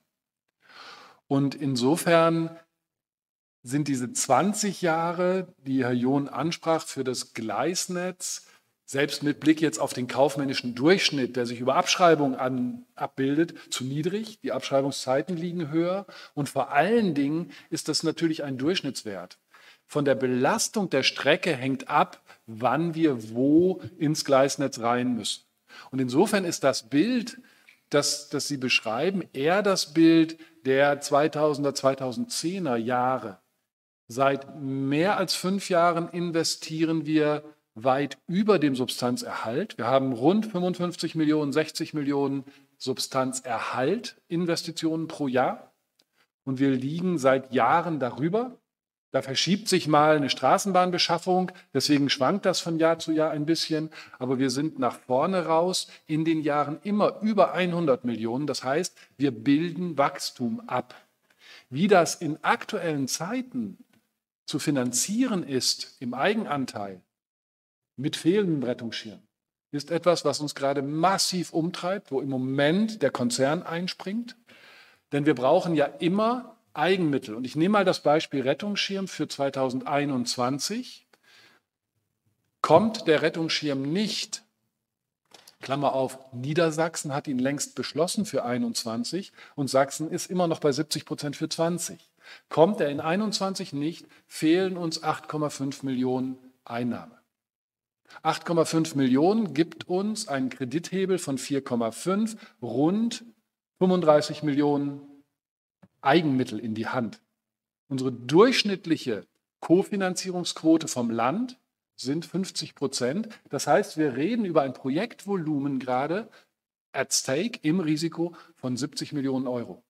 Das ist die Realität, in der wir im Moment leben, aber nicht im Substanzverzehr. Das stimmt seit Jahren nicht mehr. Wir investieren deutlich mehr, als wir rein für den Erhalt brauchen, weil wir in die Wachstumskurve des Nachhaltigkeitsszenarios gehen.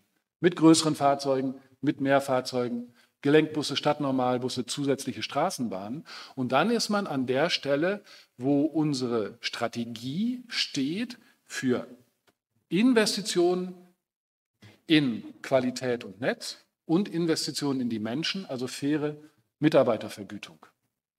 Dafür braucht es einen soliden Finanzierungsmix und das hat Herr Böhm richtig beschrieben, wo man dann in Richtung Kundschaft, Nutzerfinanzierung, in Richtung öffentliche Finanzierung austariert, ist am Ende eine Entscheidung der städtischen Gemeinschaft, der Politik, wenn man das etwas weiter fasst. Das kann man so oder anders machen, aber jedenfalls braucht es Finanzierung der Eigenmittel. Und wir haben in der Vergangenheit beides geschafft.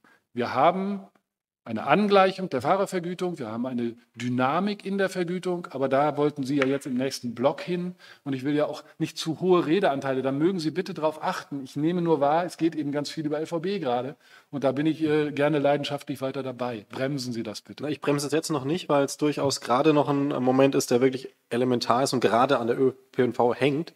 Ähm, Jetzt sitzt hier die Geschäftsführung und sagt, wir wünschen uns, dass auch die äh, Mitarbeiter ähm, gut bezahlt werden, mal etwas verkürzt gesagt. Und auf der anderen Seite gibt es äh, Demonstrationen der Mitarbeiter, dass sie gut bezahlt werden. Wie kommt das denn zusammen?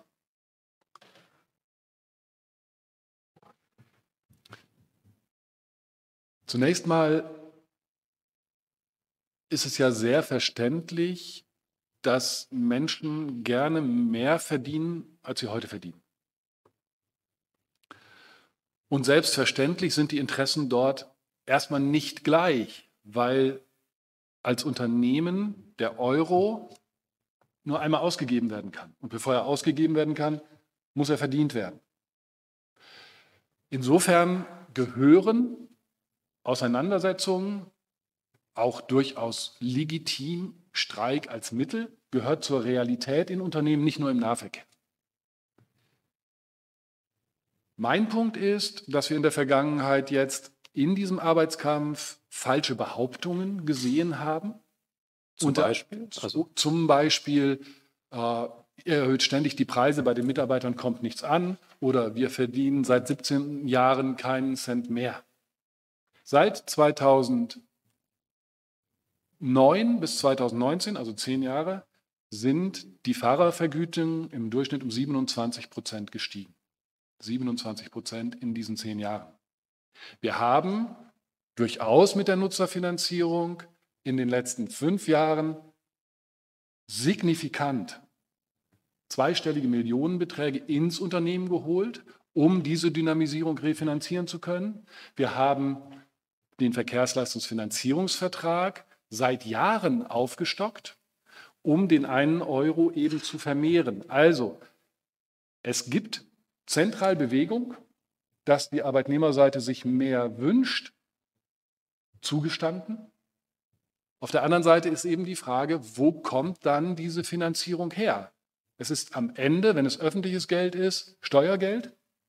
Da haben wir die Verantwortung, damit verantwortlich umzugehen. Oder es ist Geld aus der Kundschaft, aus der Linieneinnahme. Auch da haben wir die Verantwortung, damit verantwortungsvoll umzugehen. Und insofern sind wir hier in einer Balance, die gilt es auszutarieren. Da sind wir gerade mitten dabei. Die Meldung von Herrn John. Ich will noch eine andere Verantwortung ähm, benennen. Ähm, der ÖPNV ist in Leipzig der Dreh- und Angelpunkt der Verkehrswende. Wenn der je schwächer der ÖPNV ist, desto weniger wird es uns gelingen, eine Verkehrswende in Leipzig zu erreichen. Wir haben einen relativ hohen Fußverkehrsanteil. Wir haben perfekte Radfahrbedingungen, also zumindest äh, von, den, auch von den Ausgangsbedingungen her. Ähm, wo die Stagnation ist seit zehn Jahren, das ist halt im ÖPNV. Da muss einfach mehr kommen. Also da ist vor allen Dingen ein gewaltiges Potenzial da. Ähm, mehr, deutlich mehr Potenzial, als wir noch im Bereich Fußverkehr und Radverkehr haben. Und ähm, wo natürlich alle auch hinschauen, Politik, ähm, die Bevölkerung, ist halt auf den ÖPNV und äh, wo man natürlich auch mehr erwartet. Ähm, also ich, so gesehen ähm, äh, gibt, äh, lade ich Ihnen jetzt hier noch was Zusätzliches auf, aber wahrscheinlich haben Sie das auch selbst im Blick, Herr Mittelwerk.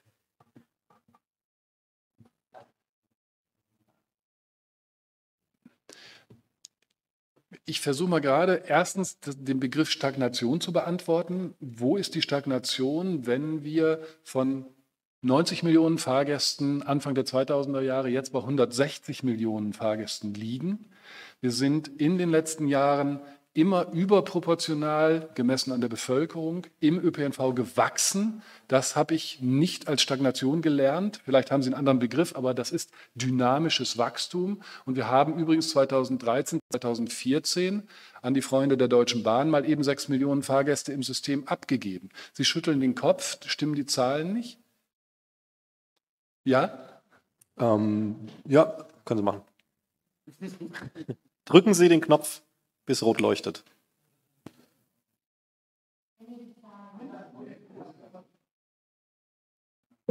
Ich, ich, die Zahlen sind mir nicht bekannt. Aber wenn die Bevölkerung wächst, wenn wir pro Familie eine höhere Anzahl an PKWs haben, dann nützen mir auch ihre Ziffern nichts. Das muss man ja dann in ein Verhältnis setzen. Und wenn die Bevölkerung zwischen 2010 und äh, 2020 von 500.000 auf 600.000 gewachsen ist, dann müssen sie auch bestimmte äh, Proportionen mitliefern und nicht nur irgendwelche Irgendwelche will ich nämlich wieder zurück, aber absolute Ziffern reichen da nicht aus. Da bedarf es dann schon nochmal, sich zu überlegen bei einer Verkehrswende, wie bleibe ich oder wie werde ich attraktiver gegenüber dem Pkw? Und das fehlt mir. Ähm, Herr Mittelberg, jetzt nehme ich die Einladung an, Sie zu bremsen.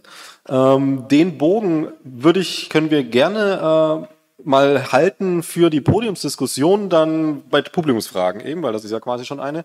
Bevor wir jetzt die anderen Themen komplett im ÖPNV verlieren, ähm, würde ich jetzt gerne nochmal, Herrn Böhme wollte noch was zum... Ähm ja. Zum Streik wollte genau. ich noch was sagen, aber vielleicht noch ein Satz. Ich glaube, Herr Mittelberg hat es so dargestellt, dass überproportional zu, im Vergleich zum Bevölkerungswachstum das Fahrgastwachstum gestiegen ist also stärker gestiegen ist als das Bevölkerungswachstum. Aber das können Sie ja dann später nochmal ausführen. Zum Streik wollte ich was sagen. Also ich halte den Streik der Beschäftigten all der LVB wie, wie, die ganzen anderen ostdeutschen ähm, kommunalen ähm, ähm, Verkehrsunternehmensbeschäftigten für angemessen, weil es geht hier um eine Daseinsvorsorge. ÖPNV ist aus meiner Sicht eine Daseinsvorsorge und müsste damit eigentlich auch als Teil des öffentlichen Dienstes bezahlt werden. In anderen Bundesländern, vor allem in Westdeutschland, ist es gang und gäbe, dass ein Beschäftigter, der in der Straßenbahn oder eine Busfahrerin ist, dass die Teil des öffentlichen Dienstes ist. Hier ist das nicht so und sie wird auch nicht danach bezahlt. Und wir haben massive Unterschiede in der Bezahlung von Ost und West ähm, und trotzdem Fahrpreise, um jetzt mal bei der Spitze zu bleiben, die vergleichbar sind mit Bundesgebiet, wenn nicht sogar auf hohem Niveau. Ähm, gleichzeitig haben wir viele Tochterfirmen, die, die in der LVB gegründet wurden, äh, wo viele Beschäftigte, gerade wenn sie neu anfangen, am Anfang dort landen und eben nicht in den alten Tarifverträgen von der LVB von damals, die noch, noch sehr gut bezahlt sind. Also ich finde, ähm, die Berechtigung zum Streik ist hier auf jeden Fall gegeben und äh, haben, die Beschäftigten haben auch meine Unterstützung daraus. Und ich will trotzdem aber sagen, dass nicht der Feind äh, die LVB in dem Fall jetzt ist, weil das Problem ist, das Geld muss irgendwo herkommen und wenn die LVB kein Geld hat, aber die Infrastruktur ausgebaut werden muss, dann gibt es da Finanzierung Finanzierungsprobleme. Deswegen schiebe ich den schwarzen Peter jetzt nicht der Unternehmensführung an sich zu, sondern einfach der, den politischen Entscheidungsträgern, die über auch Finanzen, Steuermittel in dem Fall und öffentliche ÖPNV ist Daseinsvorsorge, muss also auch von der Gesellschaft finanziert werden. Und wenn das zu wenig passiert, gibt es eben leider auch keine guten Löhne und keine gute Qualität. Und das ist das eigentliche Problem. Herr Elser, Sie haben noch eine kurze Meldung. Ich würde es gerne kurz halten, wenn es geht. so, so, meine, meine zurückgestellte, vorhin eigentlich noch loswerden, das bezog sich eigentlich noch auf die Wortmeldung von Frau Wey. und, und von Herrn Böhme. Ähm, aber zum öffentlichen Verkehr vielleicht noch ein, ein Punkt. Wir müssten auch mit in den Blick nehmen, dass wir abhängig sind von dem Funktionieren eines, eines Verkehrssystems im Umland.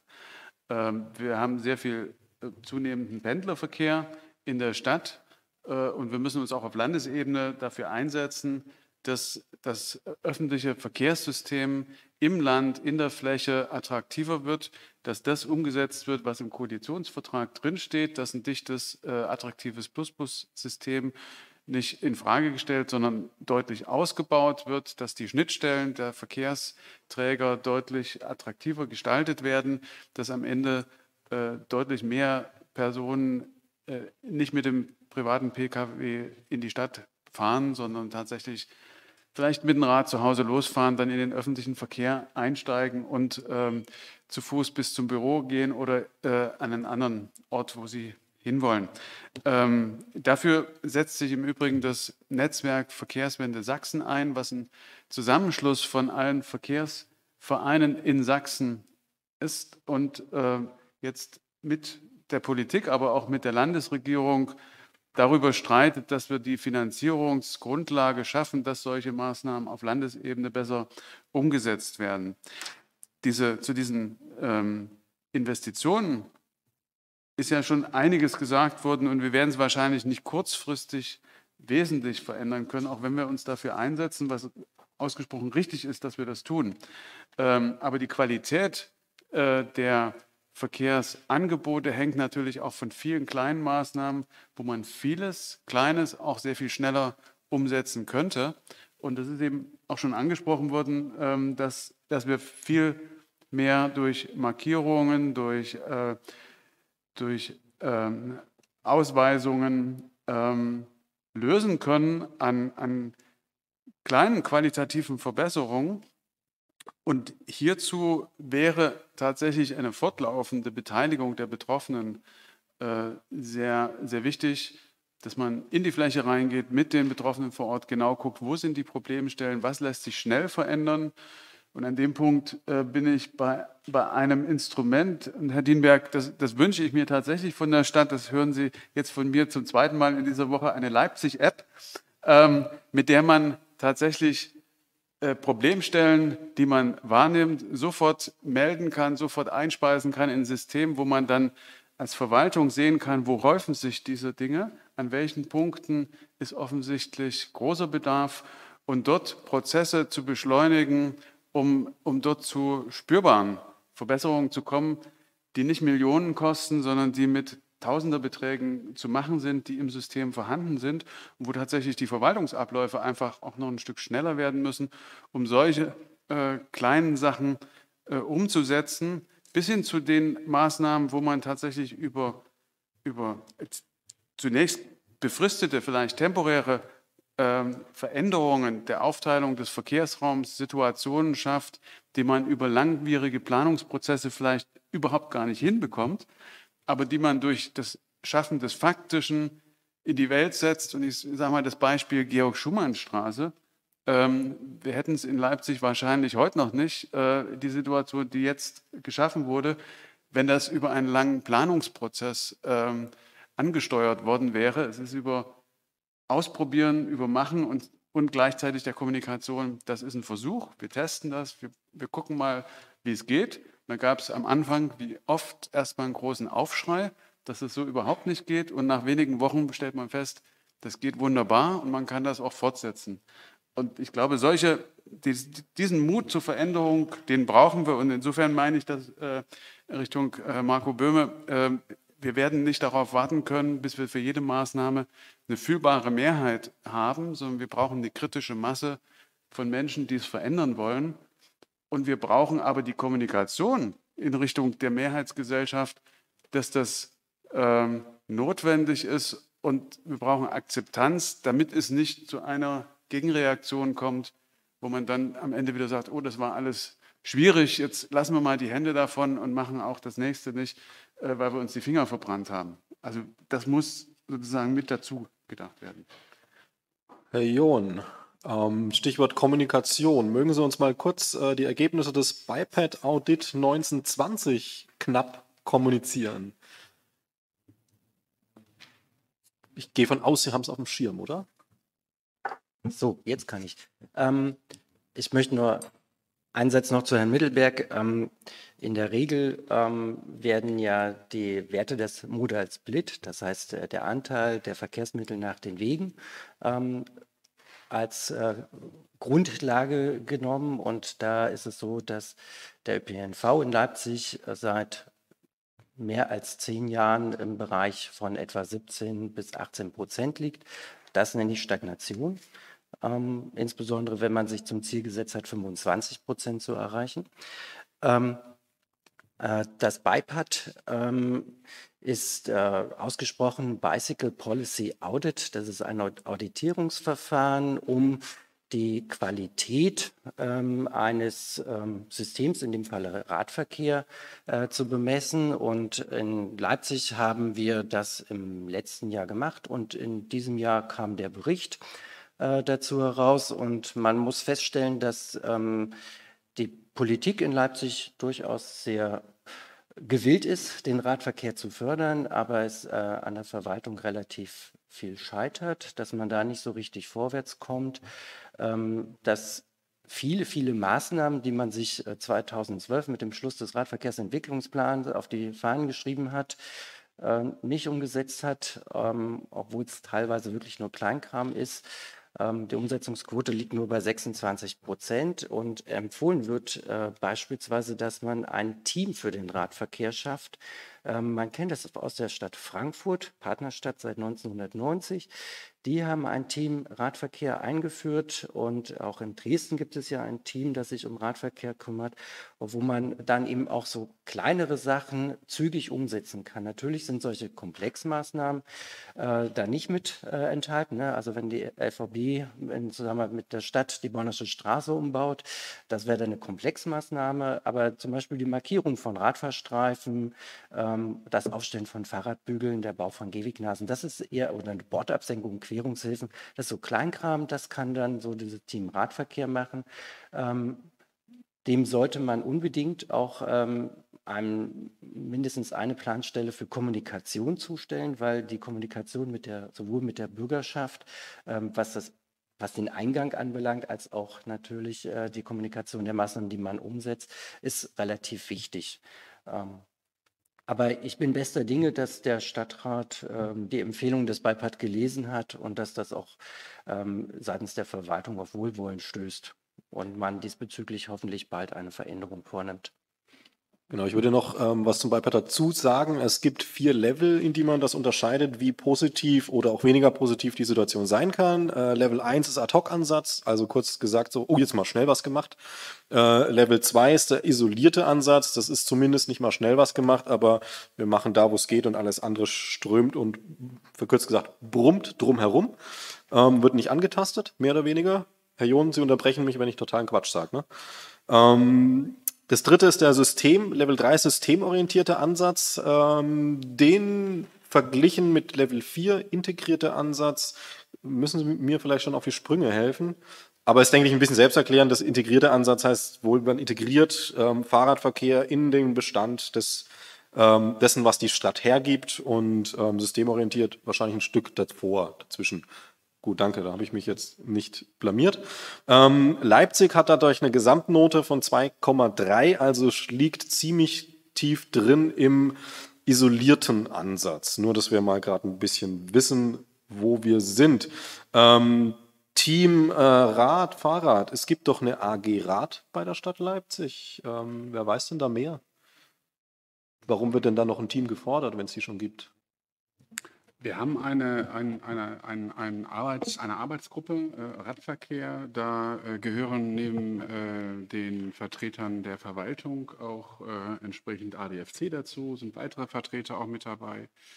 Ähm, und äh, die kümmert sich äh, natürlich auch um diese Themen und tragen das, was Herr John ja hier gerade auch ein Stück weit zu Recht äh, anmerkt, äh, dann auch äh, in die Verwaltung hinein. Und das, was ich mir vorgenommen habe, ist in der Tat, ähm, dass wir in der Umsetzung von Maßnahmen, die nicht komplex sind, die kleine Maßnahmen darstellen.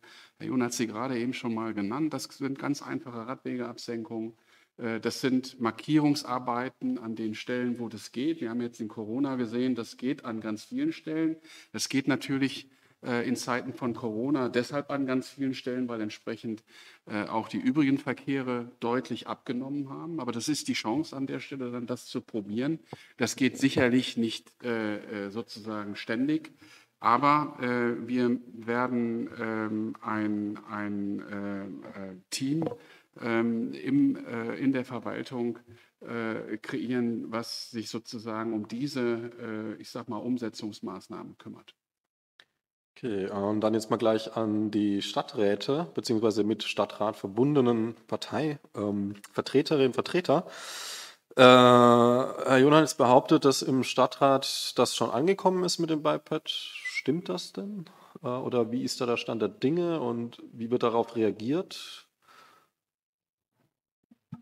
Wir sind als Stadträte auch Teil dieses Auditierungsprozesses gewesen und uns liegen selbstverständlich die Ergebnisse vor. Wir haben aber in dem Sinne keine Ratsbefassung, keine Ausschussbefassung zurzeit mit dem Thema, sondern wir ziehen im Prinzip als Fraktionen unsere Schlussfolgerungen daraus und ähm, lassen die, den Input und auch die Erkenntnisse daraus im Prinzip zurzeit nur in unsere eigene Ratsarbeit einfließen. Also es gibt keine äh, Beschäftigung als große Ratsvorlage mit dem BiPad. Ich denke auch nicht, dass das noch kommt. Wenn nicht, freue ich mich. Also ähm, wenn doch, freue ich mich.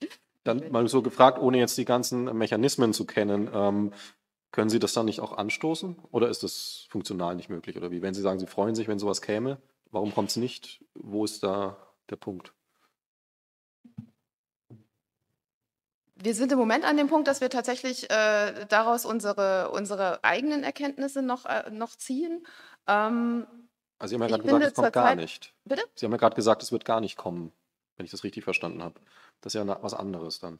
Na genau, wir arbeiten als Fraktion mit mhm. dem Ergebnis ähm, und arbeiten aber nicht als Stadtrat. Es ist ja keine, dem folgt ja keine Beschlusslage. Es ist eine Auditierung, die eine sehr, sehr formale Auditierung ist, wie das auch in der Industrie passiert. Dieser Prozess war, war, war sehr abstrakt. Der wird äh, auch, der wird ja eben bundesweit, ich glaube aber sogar europaweit angewandt, äh, wenn, wenn Kommunen das wünschen. Und ähm, das hat ja keine, keine keine Beschlussqualität in dem Sinne. Wir müssten daraus etwas ableiten, was eine Beschlussqualität hätte. Das müssen wir an der Stelle aber nicht, denn die Sachen, die wir als Stadtrat als Konzepte beispielsweise entscheiden, die entscheiden wir ja mit anderen Vorlagen wie eine, wie eine Hauptnetzrat, Hauptnetzratplanung, die wir jetzt gerade ähm, durch den Rat bekommen, durch den Rat hatten oder eben dem Radverkehrsentwicklungsplan, der fortgeschrieben werden muss um nur zwei Beispiele zu nennen. Also die Auditierung ist einfach nur eine Auditierung der, des, des Standes der, der, der, der, des Radverkehrs in der Stadt. Also auditiert ist ja auch die Stadt Leipzig. Das ist, kein, das ist keine politische Auditierung. Das ist klar, aber das war ja die Frage, ähm, warum dann jetzt, also das, was Sie gesagt haben, dass da sollte jetzt ein Paket folgen, das dann wirklich politisch in die Umsetzung gerät. Aus Ihrer Sicht schade, dass es nicht kommt, so habe ich es verstanden. Und deswegen die Frage, warum tut die Politik, jetzt wäre vielleicht auch an Sie die Frage, ähm, dann nicht dafür sorgen, dass dann so ein Paket auf Basis dieser Daten quasi dann auch wirklich eine beschlussfähige und so weiter ähm, Prozess. Ich bin kein Politiker, wie gesagt, ich kenne die einzelnen Details nicht, deswegen die Frage vielleicht so ein bisschen fluffig. Genau, das ist ja, was ich sagte. Also es ist eher jetzt äh, unsere Aufgabe, damit umzugehen, meiner Meinung nach. Und es fließt, die Erkenntnisse daraus fließen ja in unsere äh, aktuelle politische Arbeit ein. Und das, ähm, ob das Große, was daraus entstehen könnte und was auch in dem Auditierungsprozess ganz klar war, ist, dass wir den Radverkehrsentwicklungsplan weiterentwickeln wollen, müssen und sollen. Und das tun wir ja auch. Also es ist eher dieser, dieser, dieser Background. Ob man das nochmal im Großen, das müsste man vielleicht eher sagen, okay, man, man macht dazu eventuell eine aktuelle, eine aktuelle Stunde im Stadtrat. Also man könnte es noch politisch debattieren, aber dort ein großes Konzept, eine große Entwicklung zu machen, ist, dafür ist der Auditierungsprozess gar nicht vorgesehen gewesen. Diese großen Dinge tun wir ja sowieso an anderer Stelle leisten, wie ich eben die Beispiele gebracht habe. Also das hat Das ist ja kein politisches Konzept, also nochmal, deswegen. Na gut, das ist eine Fehlerauflistung quasi. Eine Vorteils- und Fehlerauflistung. Ein bisschen fehlerhaft, wenn man beim isolierten Ansatz ist letztlich. Also kein Lob, sondern eher eine Rüge äh, mit sehr vielen Details. Äh, Herr Böhme, Sie sind ja da quasi auch ein bisschen mit drin, ist das richtig? Auch im Empfindungsprozess politischer Natur? Also ich bin nicht Teil der Stadtratsfraktion, aber ich arbeite im Arbeitskreis mit, der die Stadtratsfraktion da unterstützt. Ansonsten bin ich ja Landtagsabgeordneter und da gibt es auch immer Empfehlungen, Berichte und externe ähm, Vorlagen, wo äh, Mängel dargestellt werden. Das ÖPNV-Strategiekommissionspapier war vorhin das Beispiel, wo also externe Experten was machen. Und bei diesem, äh, bei diesem Auditierungsverfahren, worum es jetzt geht, ist also auch etwas, was von externer Seite erstellt wird, dargestellt wird. Und dann können natürlich die Fraktionen, aber auch eine Verwaltung oder eine Regierung auf Landesebene daraus ähm, Vorschläge ableiten. So, und das passiert aber tatsächlich im Alltagsgeschäft, hat sie ja auch gerade nochmal so dargestellt, ja eh. Und was mich jetzt vielleicht nochmal, was ich ansprechen möchte, weil hier drei Themen vorhin auch schon mal gefallen sind, das Thema Corona oder auch äh, Herr äh, Dienberg hat ja ähm, vor einer halben Stunde war es, glaube ich, nochmal das Beispiel gebracht, habe ich mir vorhin noch aufgeschrieben, dass man äh, aus einem Pkw-Stellplatz kann man ja acht äh, Fahrradstellplätze oder Parkplätze draus machen mit Fahrradbügeln. Ähm, das Modell gibt, also das wären so Punkte, die man zum Beispiel ansprechen könnte als Fraktion. Wir wollen mehr von solchen, ähm, also weniger Autoparkplätze und mehr Fahrradparkplätze auf der Straße. Wäre ja so ein Modell, was man fordern könnte als Fraktion oder als äh, Stadtverwaltung und dann dem Rat zur Entscheidung vorlegt. Äh, und bei diesem konkreten Fall jetzt Fahrradbügel statt Autoparkplätze ist es ja ein Modell, was in Leipzig schon mal funktioniert hat. In, Im Innenstadtbereich wurden ja tatsächlich Parkplätze entfernt. Das sind nicht die Parkhäuser, meine ich, sondern die auf der Oberfläche öffentlichen Parkplätze und dann Fahrradbügel hingebaut. Aber sobald man irgendwie ins, in die normalen Stadtteile geht, die jetzt keine Innenstadt sind, findet man sowas nicht. Und ähm, das ist schon ein Problem, was mich auch echt ärgert, weil es gibt sehr viele Geschäfte, Läden, Quartiere oder, oder, oder auch Bürger drinnen, die ähm, ja wirklich nicht diese Autolawine vor ihrer Wohnungstür haben wollen, sondern tatsächlich Grünraum, einen Radweg oder eine Parkbank, einen Baum, also was man ja als beim Parking Day immer beobachten kann, was man daraus macht. Das wäre so ein konkreter Vorschlag, das umzusetzen, dass es nicht nur für die Innenstadt sowas ähm, künftig ähm, beantragbar oder möglich und umbaumäßig ist, weil derzeit geht es nur in der Innenstadt, wenn überhaupt noch. Ich glaube, es wurde sogar so ganz zurückgenommen, dass dieser Umbau stattfindet und das ist schon ein Problem. Und andere Dinge, Corona, wir haben jetzt erlebt, dass auf einmal äh, Autofahrspuren reduziert werden können ja, um zum Beispiel Fußgängerinnen oder Fahrgästen an der LVB-Haltestelle mehr Platz zu geben. Fand ich eine super Sache. Oder, oder auch zusätzliche Radfahrstreifen zu schaffen. Wunderbar. Die sind aber da weg. Also das ist nur ein vorübergehendes Instrument gewesen, äh, wo, wobei Corona ja auch nicht weg ist. Ja? Also eigentlich müsste man das jetzt alles wieder aufbauen, wenn die, wenn die Zahlen jetzt wieder nach oben gehen. Und eigentlich bin ich dafür, dass es dauerhaft so bleibt, dass man also auch darüber reden kann, dass endlich eine Fahrradfahrspur auf dem Ring existiert und dass ja eigentlich auch schon mal Gerichte eingefordert haben, dass das Radfahrverbot äh, gekippt wird. Das sind alles Dinge, die immer mal wieder nicht funktioniert haben, obwohl die Vorschläge, sagte ich vorhin schon, alle auf dem Tisch liegen. Und das ist einfach höchst ärgerlich. Das ist jetzt natürlich eine Steilvorlage, wo wir gerade sind, um äh, nochmal drei Stunden in dieses Thema einzutauchen. Ich würde es gerne machen, ich hätte Zeit, aber ich denke mal, das geht nicht allen so. Deswegen äh, jetzt erstmal noch zu diesem Thema Fahrrad, ähm, falls äh, Herr Elsässer oder Herr John da jetzt nochmal abschließend irgendwas noch gerade rücken möchte, will, soll, äh, gerne, gerne auch kurz und knapp. Ist jetzt aber auch nicht zwingend nötig von meiner Seite aus, sonst würde ich jetzt zum na, äh, für mich selber ist ein bisschen das Kopfschmerzthema genannt, übergehen.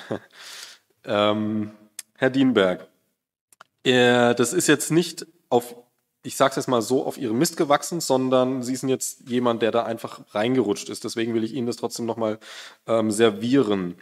Die schon ein paar Mal angesprochene Mobilitätsstrategie 2030 und enthält, also wenn man die jetzt googelt auf der Leipzig Homepage, ähm, da ist die ja kurz beschrieben, eine Seite eben dazu und da steht dann dieses schöne Zitat, mit Blick auf den wirtschafts- und motorisierten Individualverkehr stehen die Förderungen innovativer Konzepte und Modelle, Erhaltungsmaßnahmen im Straßennetz und die Aufrechterhaltung der Durchschnittsgeschwindigkeit im gesamten Stadtnetz auf heutigem Niveau im Vordergrund. Für mich heißt das so viel wie, also äh, Wirtschaftsverkehr und motorisierter Individualverkehr sind schon mal Kern ein Kern der Strategie ähm, und bloß nicht Tempo runterfahren. Also wenn ich jetzt sagen würde, 50 Prozent weniger Autos und dafür 50 Prozent mehr Fahrradfahrer, dann verlieren wir definitiv Durchschnittstempo. Das will man nicht, ähm, wenn ich das so verstehe. Wie kann sowas auch nur ansatzweise ähm, ein Beitrag im Kampf gegen Klimawandel zu einer Leipziger CO2-Neutralität oder auch eben dem heutigen Thema Verkehrswende sein? Ja, ich glaube schon, dass Sie das ähm, nicht richtig verstanden haben. Ist Ähm, möglich, klar. Ja, ähm, wir haben ja verschiedene Szenarien äh, damals diskutiert, war, wie gesagt, vor meiner Zeit. Es war ein Nachhaltigkeitsszenario, für das hat sich der äh, Rat, ich glaube, einstimmig entschieden. Wir haben äh, ein Fahrradstadt-Szenario vorgestellt, wo das klare, der klare Schwerpunkt auf den Radverkehr gelegen ist. Wir haben äh, damals in diesem Szenario mit äh, einem Modal Split für den Fahrradverkehr von 27 Prozent gerechnet. Wir sind heute bei 18 in Leipzig. Wir haben ein ÖPNV-Vorrangsszenario äh, durchdekliniert. Wir haben ein Fortführungsszenario vorgestellt, also wenn man im Grunde nicht viel ändert, äh, wie sieht es dann sozusagen ähm, von den äh, Entwicklungen der einzelnen Verkehrsträger aus? Wir haben aber auch ein Gemeinschaftsszenario damals skizziert, also wo sozusagen soziale Aspekte im Vordergrund waren. Stichwort 365-Euro-Ticket. Ähm, äh, der Rat und äh, die damit befassten Ausschüsse, die haben das sehr intensiv und ich glaube auch sehr ernsthaft diskutiert. Und wir haben uns am Ende einstimmig für das Nachhaltigkeitsszenario en, äh, entschieden. Und dieses Nachhaltigkeitsszenario heißt, dass die Förderung auf dem Schwerpunkt des Umweltverbundes liegt, also auf Fußgängerverkehr, Radverkehr und den ÖPNV. Wir haben in diesem Szenario äh, bis 2030 ein Investitionsvolumen allein für den ÖPNV von 850 Millionen Euro ähm, äh, errechnet. Wenn man das ernsthaft so erreichen will, dann ist das die Quote, die man für den ÖPNV investieren muss. Äh, Wenn ich da gleich mal fragen darf, ist das eine theoretische Zahl, die man bräuchte, oder ist das eine Zahl, die man auch faktisch dann als Geld bekommt? Nein, die, äh, die, äh, das ist eine Zahl, die man natürlich braucht, um es sozusagen so zu erreichen. Und Herr Mittelberg hat eben mal die Rahmenbedingungen dargestellt, ganz aktuell, wie wir sie haben, ähm, äh, in den Förderszenarien von Land, von Freistaat und Bund. Ähm, und das sind sozusagen die anderen Realitäten, ähm, wo äh, es Aufgabe von Verwaltung und natürlich auch Politik ist, das miteinander abzukoppeln äh, und auch wieder abzugleichen. Ähm, insofern ähm, heißt es für uns ja nicht, dass wir von den Zielen sozusagen ablassen, sondern wir müssen weiter dafür ähm, ja, arbeiten, dass wir das an der Stelle erreichen. Ihre Frage ging ja dahin, ähm, ich habe das so verstanden, dass die, die Durchschnittsgeschwindigkeiten des Gesamtverkehrs eher an den heutigen Geschwindigkeiten gehalten werden sollen. Genau, das ist das eine. Und eben auch diese, diese ähm, Betonung des wirtschafts- und motorisierten Individualverkehrs. Nee, es sind im Grunde für alle Verkehrsarten im Rahmen dieser einzelnen Szenarien, und dies ist das Nachhaltigkeitsszenario, ähm, sind Aussagen gemacht worden. Und äh, hier liegt eindeutig nicht der Schwerpunkt auf den Wirtschaftsverkehr und auch nicht auf dem MIV. Ähm, es ist aber auch andersherum eine klare Ansage, dass das Nachhaltigkeitsszenario den, den MIV nicht auf Null setzt. Ja? Im, Das ist klar. Völlig klar. Der MIV ist in diesem Nachhaltigkeitsszenario ähm, von jetzt 42 Prozent auf in 2030 30 Prozent runtergesetzt worden. Und das ist auch ein, ähm, ich sag mal, ambitioniertes Ziel, ähm, was man äh, auch nur durch entsprechende Investitionen erreichen kann. Ähm, Herr John wollte was sagen. Ich will jetzt noch was dazwischen schmeißen, weil wir jetzt schon natürlich überzogen haben. Ähm, ich würde diese Pause weglassen, die angekündigt war. Wer auf Toilette muss, geht halt einfach und kommt wieder.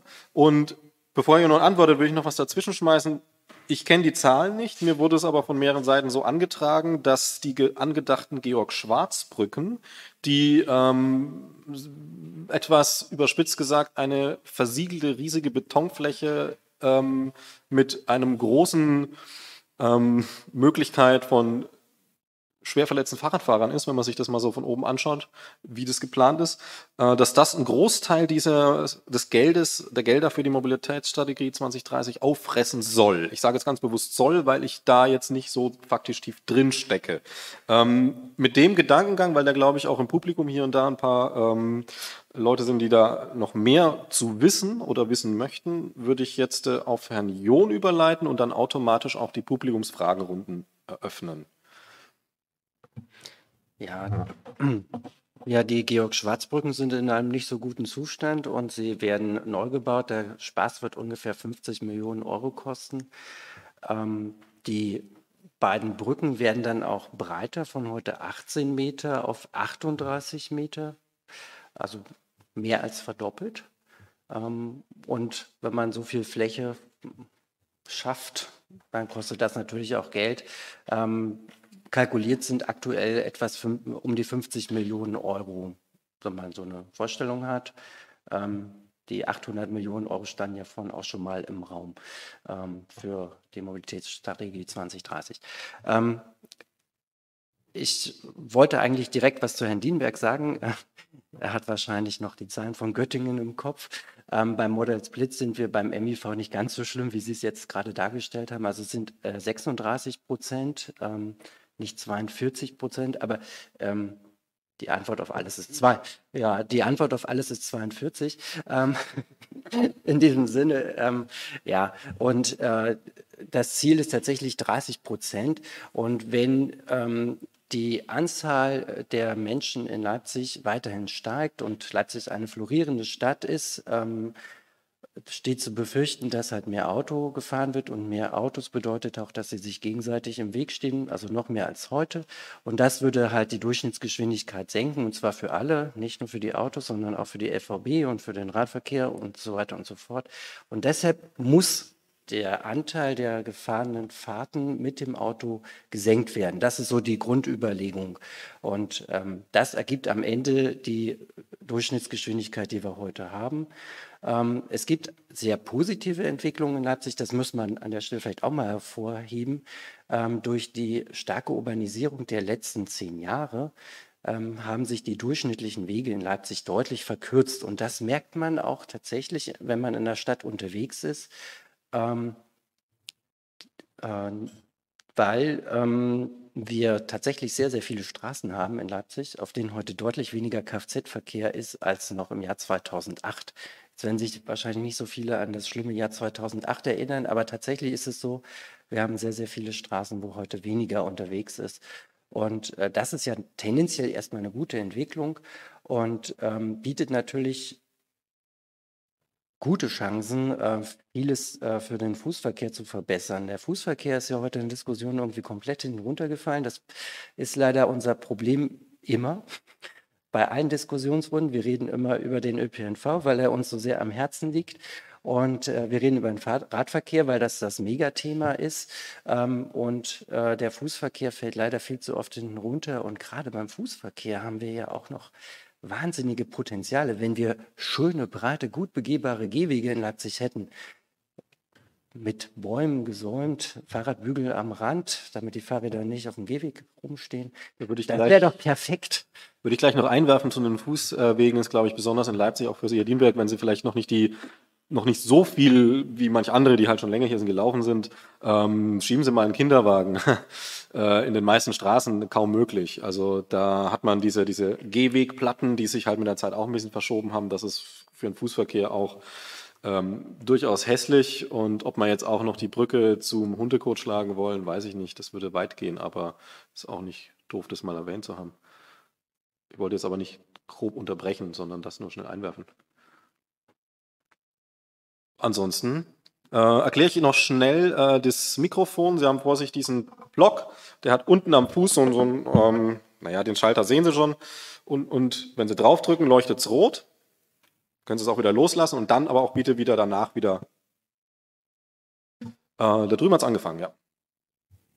Ähm, ich wollte nochmal das äh, die Geschichte mit der, mit der Stagnation aufgreifen von vorhin. Ähm, wenn wir in, in Sanierungszeiträumen denken von 20 Jahren, äh, dann heißt das ja immer erstmal die Erhaltungssanierung des Netzes äh, oder, oder Modernisierung des vorhandenen Netzes. Ähm, für mich heißt Dynamik aber auch äh, im Prinzip Anschluss der noch nicht erschlossenen Stadt, äh, Stadtteile oder Stadtgebiete.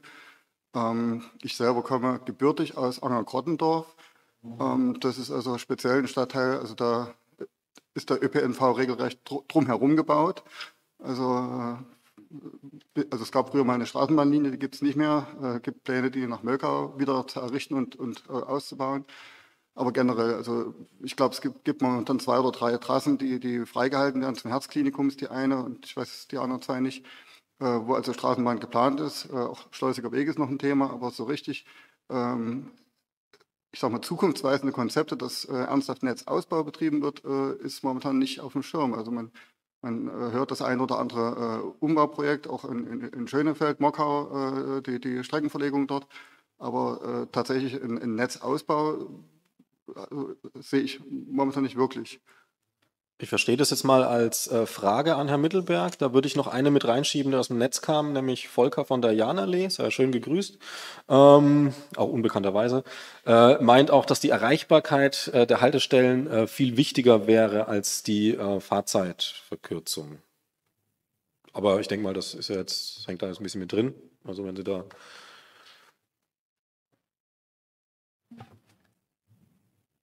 Letztlich denke ich aus Kundensicht kommt es auf die Gesamtreisezeit an. Insofern ist die Erreichbarkeit von Haltestellen natürlich ein Kriterium, weil längere Wege zur Haltestelle dann natürlich ein Hemmnis sind. Das war der Punkt, wo ich eben äh, ja schon auch gesagt habe, dem Netz Leipzig kommt eine Verdichtung Haltestellen im Wesentlichen sehr gut zu Pass.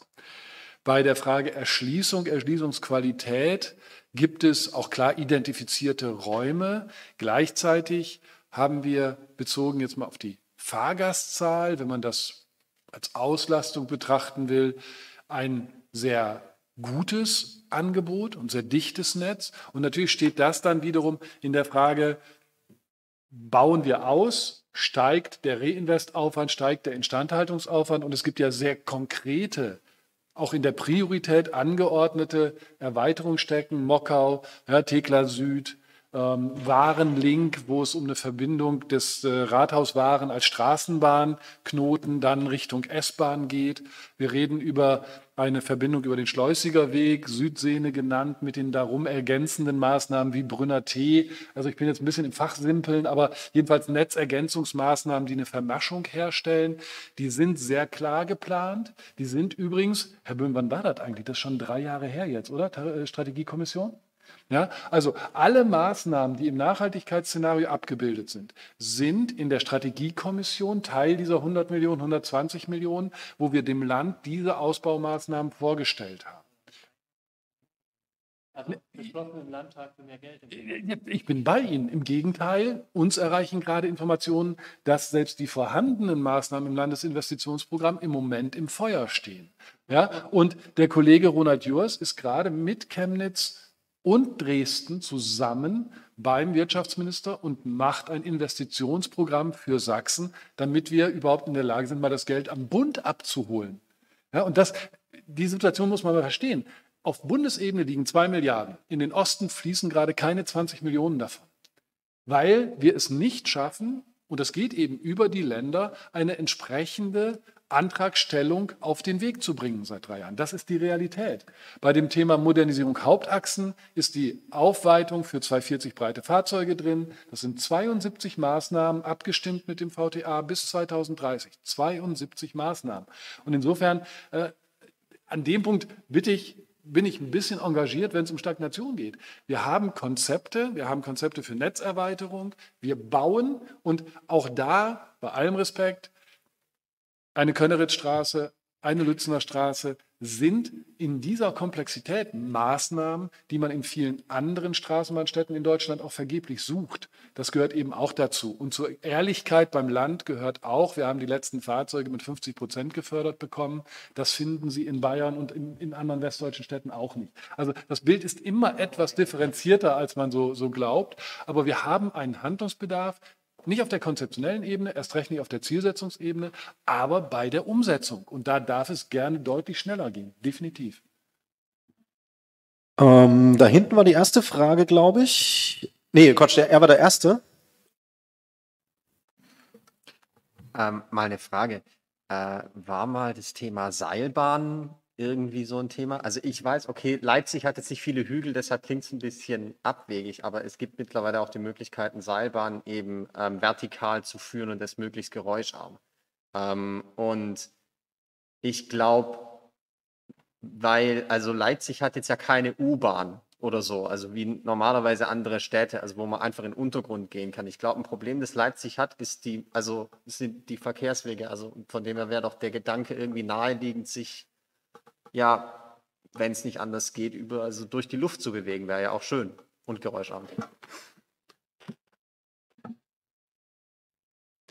Wenn Sie sagen, U-Bahn-Systeme wie normalerweise andere Städte, ähm, kann man das so sehen? Wir waren eben bei der Frage Erreichbarkeit von Haltestellen und äh, in, in europäischen Städten, verdichteten Städten, Tunnelstationen zu bauen. Wenn Sie beispielsweise nach Hannover gehen, wo Sie dann auf der Minus-3-Ebene irgendwann Ihre Bahn erreichen, ist eine Entscheidung, die man wollen muss. Das macht Systeme sehr schnell, in Teilen auch attraktiv, aber wir sind weiter von den Menschen weg. Und wir sind in Leipzig aus meiner Sicht mit einer sehr, sehr guten Tradition als Straßenbahnstadt unterwegs. Und übrigens, Herr Dienberg, wir hatten ja schon beim ersten Bier klargestellt, dass der Mittelberg nicht überall den besonderen Bahnkörper fordert. Ja, erst recht nicht in Gründerzeitquartieren, weil wir nah ran wollen an die Menschen als Straßenbahnstadt. Das nur mal ganz kurz zu dem Thema minus eins, also unter die Erde gehen. Ein ähnliches Thema haben Sie aus meiner Sicht, wenn Sie auf die plus eins Ebene gehen, weil auch da müssen Sie barrierefrei Zugänglichkeit von Stationen erstellen. Sie brauchen entsprechende Durchläufe, damit Sie eine Kapazität überhaupt bringen für die Menschen auf den Hauptachsen. Wir haben das durchaus angeschaut. Wir haben das auf hochfrequentierten Achsen angeschaut. Wir haben das auf freizeitorientierten Achsen angeschaut. Ähm, an der Stelle, ähm, bitte sehen Sie es mir nach. Ich verstehe solche auch, auch visionären Szenarien. Wir sind im Moment bei 100 Millionen Fahrgästen. Wir sind von 160 Millionen auf 100 Millionen runter. Und mir geht es darum, überhaupt wieder eine Idee für das Nachhaltigkeitsszenario zu entwickeln in diesen Zeiten. Und ich möchte an dem Punkt weder der Spaßverderber sein, noch will ich sagen, wir brauchen nicht gerade in diesen Zeiten Visionen, für die es sich anzutreten braucht. Genau, da Aber bin ich jetzt der Spaßverderber und bremse mal ähm, den verständlichen Redeschwall. Äh, einfach aus kein Schwall. Es ist bitte kein Schwall. Nee, nee, Schwall ist ja nicht, ist ja nicht, ist ja nicht keine qualitative Aussage, sondern eine quantitative der Menge. Äh, wenn Sie noch einen Punkt haben, auf den Sie kommen müssen, wenn Sie ihn ganz knapp machen können, wäre super. Weil wir haben hier noch ein paar Redebeiträge und hier wollen noch Leute antworten. Das ist äh, einfach eine Zeitfrage. Das alles. Und wir haben 640.000 Einwohner im Ziel und nicht 720.000. Okay, wunderbar. ähm, bevor ich auf diese Fragen, Meldungen übergehe, äh, was Sie beide ähm, trifft direkt darauf. Ähm, Herr John war der Schnellere, aber auch bitte kurz und knapp. Ähm, Leipzig ist viel zu klein für eine U-Bahn. Wir haben nicht die Dichte und es gibt eine Konsequenz. Der U-Bahn-Bau würde bedeuten, dass das Netz für die Straßenbahn, das Schienennetz für die, Stra äh, für die Straßenbahn, aber auch das Schienennetz insgesamt deutlich kleiner werden würde. Man kann sich das im Ruhrpott ansehen. Da hatte man früher ganz, ganz viele Menschen, die direkt an einem äh, schienengebundenen ÖPNV-Verkehrsmittel waren, heute nicht mehr, ähm, weil U-Bahn einfach ein unverschämt teures äh, Verkehrsmittel ist, das zu, äh, zu erhalten ähm, Gut, Leipzig einfach nicht in der Lage ist. Thema U-Bahn ist, glaube ich, in Leipzig ja, eh und und äh, zu den Seilbahnen, ja, da, die Verwaltung ist da gerade gezwungen, ähm, sowas zu untersuchen. Ich sage mal wirklich auch gezwungen. Ähm, da gab es einen Antrag, der ist irgendwie beschlossen worden. Es wird da was untersucht, aber es wird am Ende keine Seilbahn geben in Leipzig. Es ist eine Personalressourcenverschwendung, aber nun gut, so ist das Leben. Okay, ähm, Herr Dienberg, so ist das Leben, wollte ich gerade sagen, bitte kurz und knapp, aber wenn es damit schon gesagt ist, umso besser. Äh, Sie haben die nächste Frage. Also ich, ich habe zwei Fragen. Die erste Frage geht so ganz grob in die Richtung der Straßenbahnerreichbarkeit. Aber mir geht es vor allem darum, ähm, überhaupt die Städte aus der Stadt rauszuhalten. Und ich rede jetzt hier über den weiteren Bereich, der um Leipzig herum ist. Ich mache es mal konkret. Wenn man im Süden von Leipzig wohnt, also weit außerhalb der Autobahn, dann kann man noch so gewillt sein, mit ÖPNV in der Stadt seine, seine Sachen zu regeln. Es ist so gut wie unmöglich, denn es gibt keine Chance, irgendwie außerhalb von Leipzig ähm, den Pkw stehen zu lassen. Also wenn man zum Beispiel in Espenhain wohnt, ist man, muss man mit dem Auto Richtung Stadt, weil bis nach Böhlen sind es zehn Kilometer, der Parkplatz ist überfüllt, da kriegt man nichts. Und wenn ich danach beabsichtige, irgendwo mein Auto zu parken, dann bin ich irgendwann in der Kali und da kann ich parken und in die, in die Straßenbahn einsteigen. Und das ist jetzt nicht nur die einzige Situation. Und ich, wenn ich diese Verkehrskolonnen sehe, dann fehlt mir hier absolut ein Konzept, wie man versucht, den Leuten, es, ja, es gibt ja so ein Konzept im Städtetag, dass es jetzt eine Stadt-Land-Anbindung geben soll und die, dass das Land nicht abgehangen werden soll. Und da sind, ist sicherlich mit dem Sinti-Tunnel ein erster guter Schritt gemacht, aber es ist, Es fehlt absolut ein Konzept außerhalb im Bereich der Autobahnen, Möglichkeiten zu schaffen, auf kurzem Wege in die Stadt zu kommen und dann aber auch in der Stadt sich quer zu vernetzen. Also wenn man in die Windscheidstraße möchte, muss man erst zum Wilhelm-Leuschner-Platz und wieder zurück. Es geht keine andere, kein anderer Weg dahin. Und solange das so unattraktiv ist, werden wir einfach Hunderttausende von PKWs überhaupt nicht aus der Stadt raushalten können. Man hat keine Chance. Das war die erste Frage. Soll ich die zweite gleich direkt danach stellen? Ähm, die war schon relativ lang komplex. An wen geht sie denn? Na, für mich geht sie an die Stadt Leipzig von der, von der Planung her, also den, an den Herrn äh, Dienberg.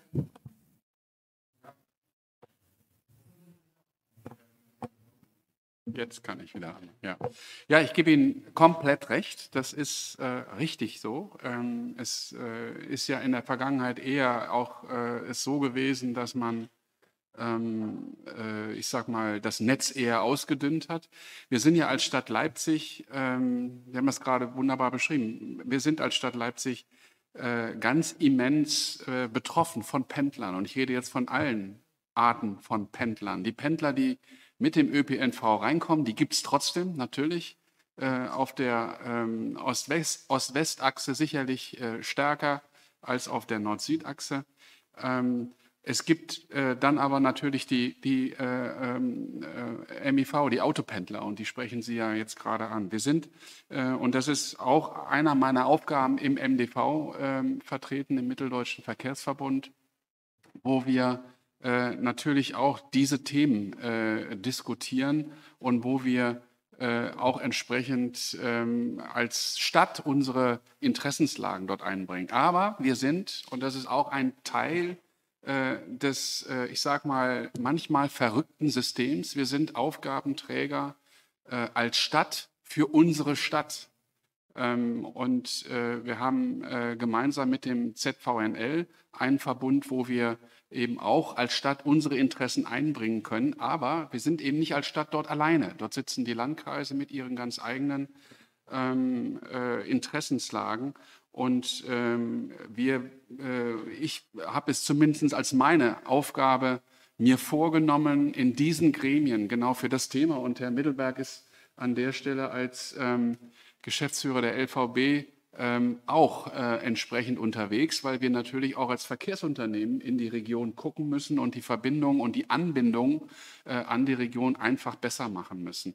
Aber das sind ähm, äh, wirklich, ja, es ist ein dickes Brett, was man bohren muss, weil man das auch jetzt als Stadt Leipzig nicht alleine sozusagen ähm, komplett äh, äh, in der Hand hat, sondern man muss dort mit unterschiedlichen regionalen Interessenslagen dann auch äh, diese Ergebnisse erzielen. Aber das sehe ich als eine meiner wesentlichen Aufgaben. Bevor ich jetzt weitergehe, erstmal, ähm, weil ich müsste aus Zeitgründen, müsste ich Sie jetzt eigentlich hier streng behandeln, also strenger als der Klimawandel zu uns ist quasi, oder vielleicht halb so streng.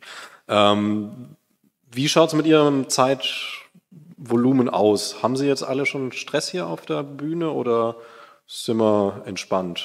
Weil wenn wir entspannt sind, dann würde ich sagen, machen wir es auch ein bisschen entspannter weiter. Äh, Herr John wollte kurz was, Herr Böhme wollte kurz was sagen, Frau Weil wollte dann auch kurz was sagen. Herr John hat zuerst gemeldet. Kurz. Ja. Ähm, Leipzig hat ja 600.000 Einwohner und nur 100.000 Pendlerinnen.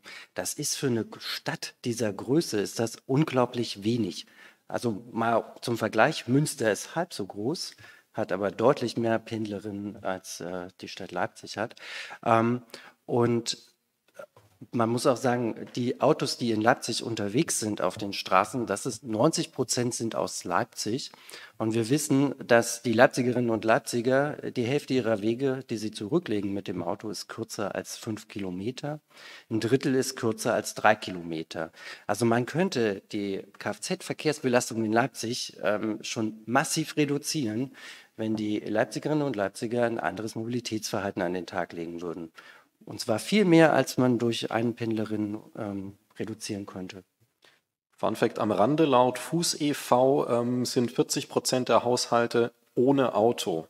Ich gehöre da dazu. Ähm, aber das ist eine Zahl, die man, wenn sie so stimmt, wäre vielleicht nochmal nachrecherchieren interessant, äh, sich auf der Zunge zergehen lassen muss. So, Herr Böhm. Ja, also ich habe auch kein eigenes Auto. Äh, trotzdem gibt es ja Menschen, die Auto fahren. Und das Umlandbeispiel ist ja gerade das aktuelle mit den Einpendlerinnen und Einpendlern. Und da hat der Dienberg schon recht. Das kann man als Stadt Leipzig nicht alleine machen. Das sind die beiden Landkreise Leipziger Land und Nordsachsen auch mit, also in dem ZVNL, also in dem Verkehrsverbund, äh, also ähm, nicht Verbund, sondern ähm, äh, Zweckverband ähm, da mit, äh, mit Mitsprache berechtigt. Aber wenn man dann trotzdem mal auf die Stadt Leipzig schaut, dann fallen mir schon ein paar Beispiele ein, wie man auch als Stadtverwaltung aktiv dagegen steuern kann. Also wenn ich dann, wie das Beispiel jetzt gerade aus dem Publikum kam, an der Kali kostenlos oder günstig parken kann, ähm, dann ist das schon ein Problem. Oder wenn ich am Hauptbahnhof für drei Euro am Tag, also mitten in der City, drei Euro am Tag am Hauptbahnhof parken kann, ja, wie, dann komme ich ja auch von mich auch nicht auf die Idee, mit dem Zug äh, oder mit der S-Bahn äh, nach Leipzig zu fahren. Wenn ich mit dem Auto, was ich ja scheinbar eh besitze und eh brauche im ländlichen Raum, dann komme ich aber nicht auf die Idee, damit äh, das dann stehen zu lassen und nicht äh, ÖPNV zu fahren. Das heißt, wenn man über keine Fahrverbote reden will, was ich auch verstehen kann, dann muss man wenigstens über Preise reden. Und es kann einfach nicht sein, dass Leipzig wirklich mit am allergünstigsten von allen deutschen Großstädten ist, wo man parken kann. Und das ist natürlich, oder überall Parkplätze hat. Also man kann ja wirklich überall parken in der Innenstadt. Es gibt massiv Parkhäuser, da träumen andere Städte von. Ähm, also ich finde, da kann man auch drüber reden, warum müssen wir immer neue Parkplätze? Wir haben jetzt am Fußballstadion bei RB wieder neue Parkplätze geschaffen. Das ist für mich völlig unverständlich. Natürlich kommen Leute, die jetzt äh, Bayern München-Fan oder irgendwas sind in Leipzig äh, kommen wollen, die werden erstmal nicht mit dem Zug anreisen, weil sie wissen, ich kann direkt vorm Stadion parken. Das ist doch ein Unding. Und das, daran müssen wir ran. Wir müssen Parkplätze auch reduzieren, verteuern und Alternativen günstiger machen. Frau Wey, Sie wollten auch noch was sagen. Ja, ich kann da direkt anschließen. Ähm, seitens des Stadtrates ähm, sind wir uns dort ja, haben wir das Ganze ja schon in Beschlüssen abgedeckt. Im Mobilitätsszenario ist enthalten, dass wir zum Beispiel an den Endstellen der LVB die äh, Park- und Ride-Plätze ausweiten beziehungsweise zum Teil ja auch überhaupt erst schaffen wollen und vergrößern möchten. Das ist auch eine der vielen Aufgaben, die dort mit drin steht. Ganz konkret, ähm, ich glaube, in der letzten Ratsversammlung ist genau da ähm, der zeitliche Hammer gefallen, bevor die äh, Novellierung der Parkgebührenordnung der Stadt Leipzig auf der Tagesordnung abgehandelt werden sollte. Ähm, so es dazu tatsächlich hoffentlich eine Mehrheit geben wird, äh, wird genau dieses Problem gelöst werden. Und wir werden uns, dazu gab es ja auch schon äh, deutliche Presse, ähm, mit dieser Parkgebührenerhöhung auf das Level der teuersten Städte in Deutschland äh, heben. Und genau, um, die, um genau diesem Punkt Rechnung zu tragen, die Parkgebühren eben auf ein, ein gerechtes Maß, auf eine, ein, ein, eine wirkliche Gebühr zu, zu erheben. Zudem werden wir ja auch die Bewirtschaftungsbereiche, denn im Vergleich zu anderen Städten bewirtschaften wir wahnsinnig wenig öffentlichen Raum. Die sollen ja weiterhin ausgeweitet werden. Auch das ist Teil des Mobilitätsszenarios. Also dieses Szenario betrachtet den Verkehrsbereich ja deutlich größer und Jetzt müssen wir halt dazu kommen, was wir heute schon so oft gesagt haben, diese Sachen auch umzusetzen, aber die werden auch gerade Stück für Stück umgesetzt. Die Parkgebühren stehen jetzt auf der nächsten Ratsversammlung an. Nun werden sie wohl drankommen. Herr Mittelberg, da es ja Sie und die LVB sehr viel betrifft, Sie wollten noch was sagen?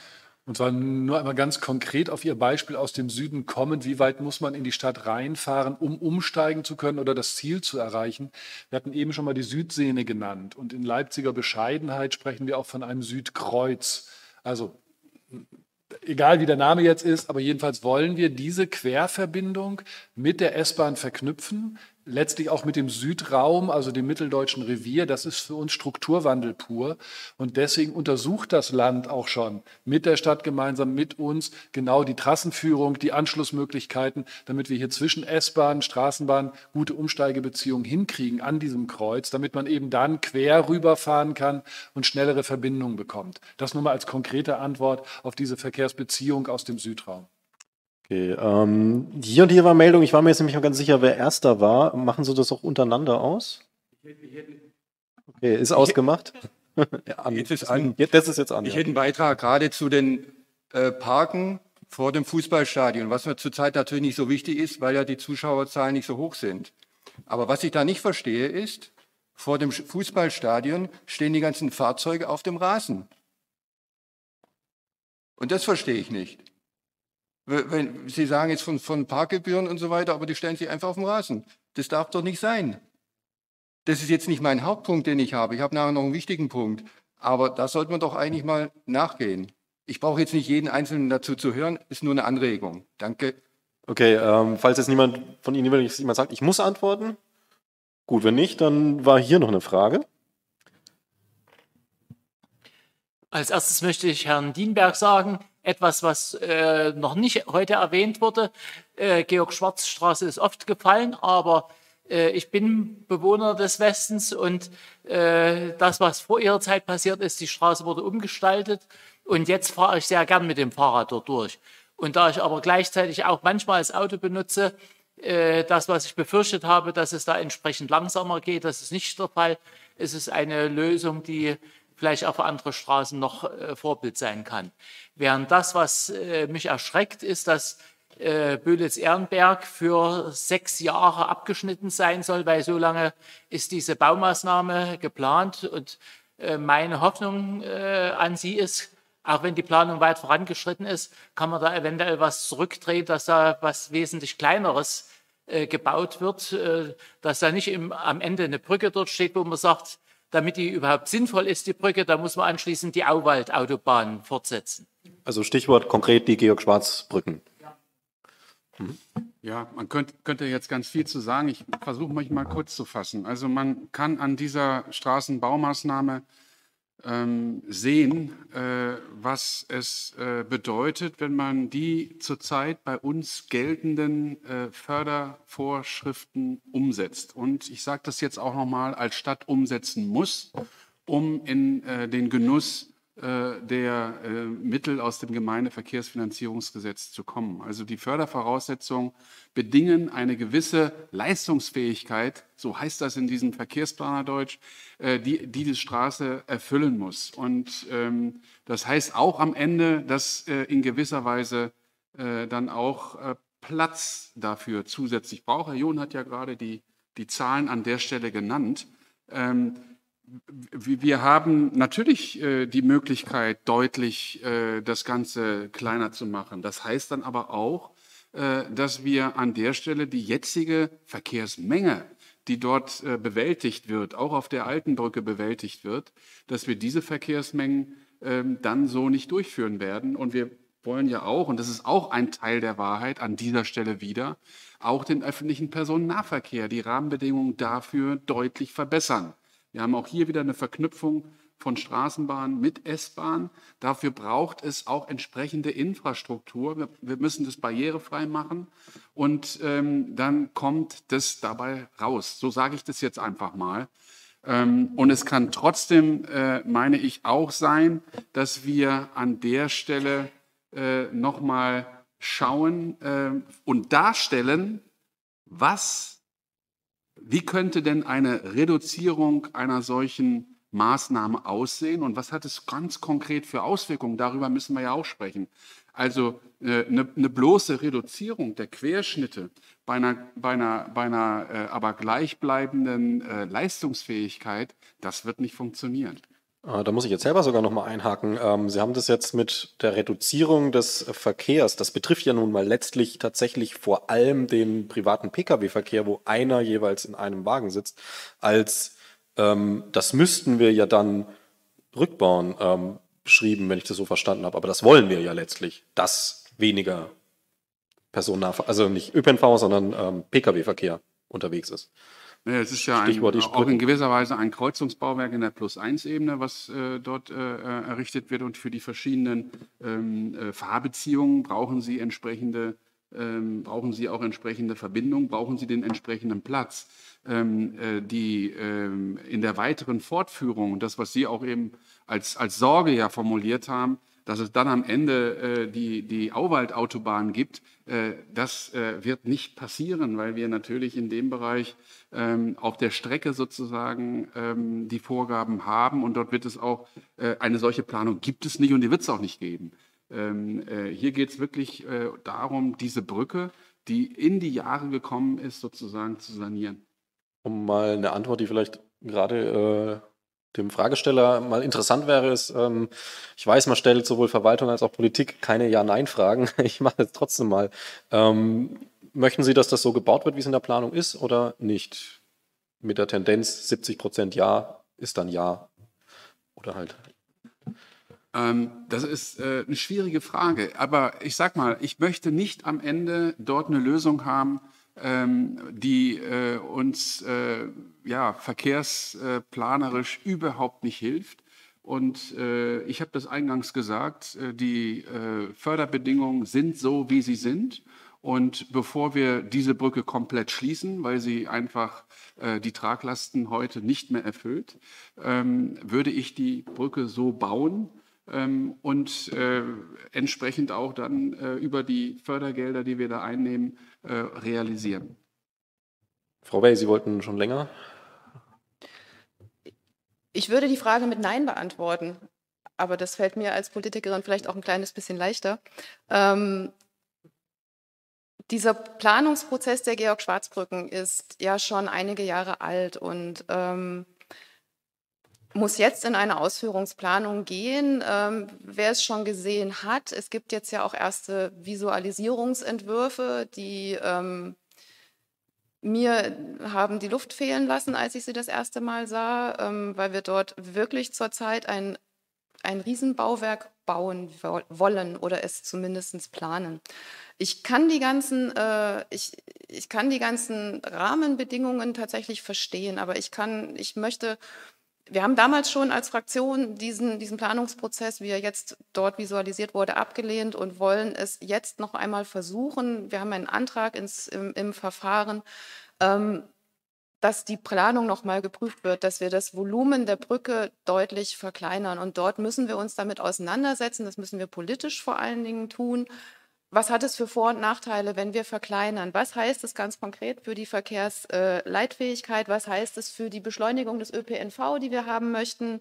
Was heißt es für Fuß- und Radverkehr? Ähm, mich erschreckt es, und das ist auch ein Teil, was wir mit der Mobilitätswende noch leisten müssen, wenn ich im Bürgerforum letzte Woche gehört habe, naja, die Böhlitz-Ehrenberger wollen sowieso eigentlich eher nur mit dem Auto über diese Brücke fahren. Für Fuß- und Radverkehr ähm, würden Sie gerne sowieso, wenn eine, eine parallele zweite Fuß- und Radverkehrsbrücke nutzen. Ähm, da, daran sehe ich, dass wir an dieser Brücke durchaus noch arbeiten können, damit sie multifunktional ist, denn sie ist ein Bauwerk, was zwei Stadtteile ganz krass voneinander trennt, aufgrund dieses Riesenvolumens.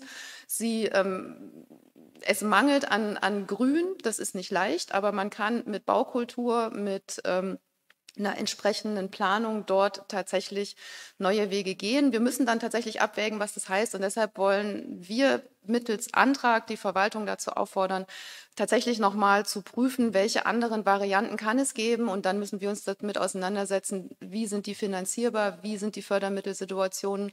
Und ich denke, dass wir im Jahr 2020 vor dem Hintergrund des Klimanotstandes, ich möchte für diese, für diese Varianten dann auch gerne einen Klimacheck haben, den wir eigentlich ja schon beschlossen, aber bislang noch nicht umgesetzt haben, dass wir dann einfach hier bei diesem großen, wichtigen Bauwerk, was wir brauchen, denn diese Brücken sind irgendwann nicht mehr befahrbar und wir können Böditz-Ehrenberg nicht abhängen. Das ist tatsächlich ein wichtiger Punkt.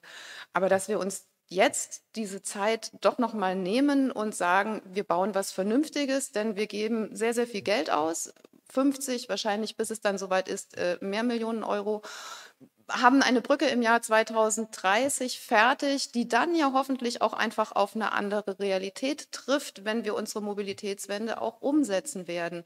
Und das möchte, wünsche ich mir, dass wir das nochmal betrachten. Und deshalb werden wir da auch jetzt als Fraktion eben im, im, im Verfahren mittels Antrag die Verwaltung auffordern und auch dafür Mehrheiten suchen, dass wir wirklich nochmal einen frischen Blick darauf werfen. Denn die Planungen der Georg-Schwarz-Brücken sind ja nun auch schon in die Jahre gekommen tatsächlich und fußen auch auf anderen Realitäten. Da würde ich noch eins dazufügen, ist, dass bei gerade solchen kritischen Projekten früher mal unter einer anderen Vorstellung gemacht und so weiter und so fort, ist das nicht vielleicht letztlich auch, ob das dann kommt oder ob man es eben drehen kann, nicht eine Frage auch der Verhandlungsschärfe, die man da an den Tag legt? Denn letztlich wird es ja irgendwo dann doch hier und da wieder ausgehandelt. Vielleicht nur eine ganz kurze Ergänzung. Also das ist das, was wir jetzt hier parallel als Stadt Leipzig tun müssen. Am Ende auch wirklich klar dem Land signalisieren, wir haben Bedarfe an Fördermittelbedingungen, die nicht mehr dem entsprechen, was wir mal hatten. Und die Fördermittel werden ja auch äh, überarbeitet, die Konditionen werden ja überarbeitet vom Verkehrsministerium. Und da müssen wir als Kommune einfach ganz, ganz deutlich machen, dass wir hier ganz andere Bedarfe haben, als das, das Land hat, als es aber wahrscheinlich auch aufgrund einer anderen Struktur die Stadt Chemnitz und die Stadt Dresden hat. Und dass wir dort einfach sehr, sehr deutlich werden, denn äh, wenn wir so ein Bauwerk 50, 60 Millionen ohne Fördermittel bauen, dann ähm, ist es für die Kommune als solche äh, auch ohne Corona theoretisch nicht wirklich abbildbar, denn dann bauen wir eine Brücke und wir wissen alle, die anderen Brücken müssen genauso saniert werden und das sind ähnliche Kostenrahmen. Ähm, Herr John hatte sich auch schon länger gemeldet. Äh, Herr Dienberg, Herr John, machen Sie sich doch gerade untereinander aus, wer jetzt das Wort nehmen möchte.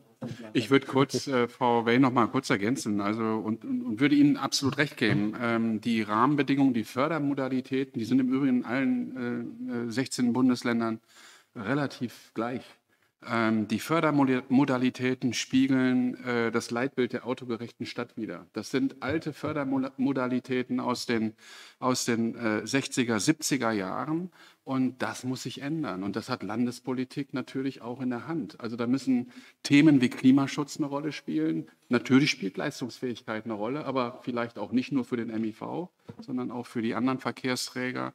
Und äh, dann würde, glaube ich, an der Stelle nochmal sehr viel einfacher und auch schneller und zügiger kommunale Verkehrsinfrastruktur ähm, nochmal ganz anders aussehen, als es das heute tut.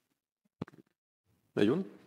Ähm, Wer sich ein Bild machen möchte davon, wie diese Brücke mal später aussieht, die Berliner Brücke in Eutrich, Mockau Süd, ähm, das ist im Prinzip ähm, das Vorbild. So wird diese Brücke hinterher mal aussehen, mehr oder weniger.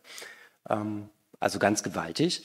Ähm, und wenn die Georg-Schwarz-Brücken gebaut werden, ähm, wird ja die große Georg-Schwarz-Brücke leicht schräg gestellt, sodass man eine direkte Wegeführung hat und ein Knoten entfällt. Das heißt, egal wie man die neue Brücke, die große, bauen wird, ähm, sie wird hinterher leistungsfähiger werden, als sie heute ist. Egal, man, man kann es nicht verringern. Das heißt, ähm, selbst wenn man sie nicht von 18 auf 38 aufweitet, ähm, wird sie leistungsfähiger. Ähm, und unter diesem Gesichtspunkt muss man das sicherlich nochmal schauen, was da am Ende äh, wirklich gebraucht wird. Ähm, die Verwaltung hat es ja im Prinzip auch in der Hand. Sie wirft diese Zahlen in die Modellierung und kann eben auch entsprechend darauf Einfluss nehmen, was am Ende rauskommen wird. Weil wie die Ampeln programmiert werden, die ja dann die Grünphasen äh, sagen, ne, wie lang, wie viele Autos darüber kommen oder wie viele Radfahrende oder wie viele Straßenbahnen, das weiß man heute ja gar nicht. Ja, das wird man irgendwann im Jahr 2030 wissen, wenn man dann äh, das Ampelprogramm aufspielt. Vorher weiß man es leider nicht. So, zwei, drei Fragemeldungen waren noch. Damit würde ich es dann auch beenden. Ähm, der Fairness, da Sie schon dran waren, würde ich erstmal sagen, obwohl Sie erst gemeldet haben, würde ich sagen, fangen Sie an, dann kommen Sie, dann kommen Sie. Und wenn es sich zusammenfassen lässt, ähm, welches Thema ist es denn? Ähm, ich wollte was zum äh, Klimanotstand und der Situation sagen. Bei Ihnen welches Thema? Oh. Mir, mir geht es nochmal um, um das äh, immer wieder Neuerfinden des Fahrrades, sage ich mal, also, äh, Verkehrslösungen, okay. ob man nicht irgendwo Mindeststandards festlegen kann. Dann machen wir sie einzeln, aber ähm, fangen Sie an. Wir machen es aber jetzt knapp und kurz und ähm, bitte vor allem also die Fragen nicht so sehr ausschmücken. Wir haben alle schon viel erlebt, das muss man jetzt hier aber alles nicht äh, breittragen. Und die Antwort natürlich auch, wenn es geht, möglichst äh, wenig ähm, Kalkül in der Antwort, sondern einfach knapp und klar. Das wäre mir jetzt möglichst lieb, sofern es sich einhalten lässt. Fangen Sie gerne an.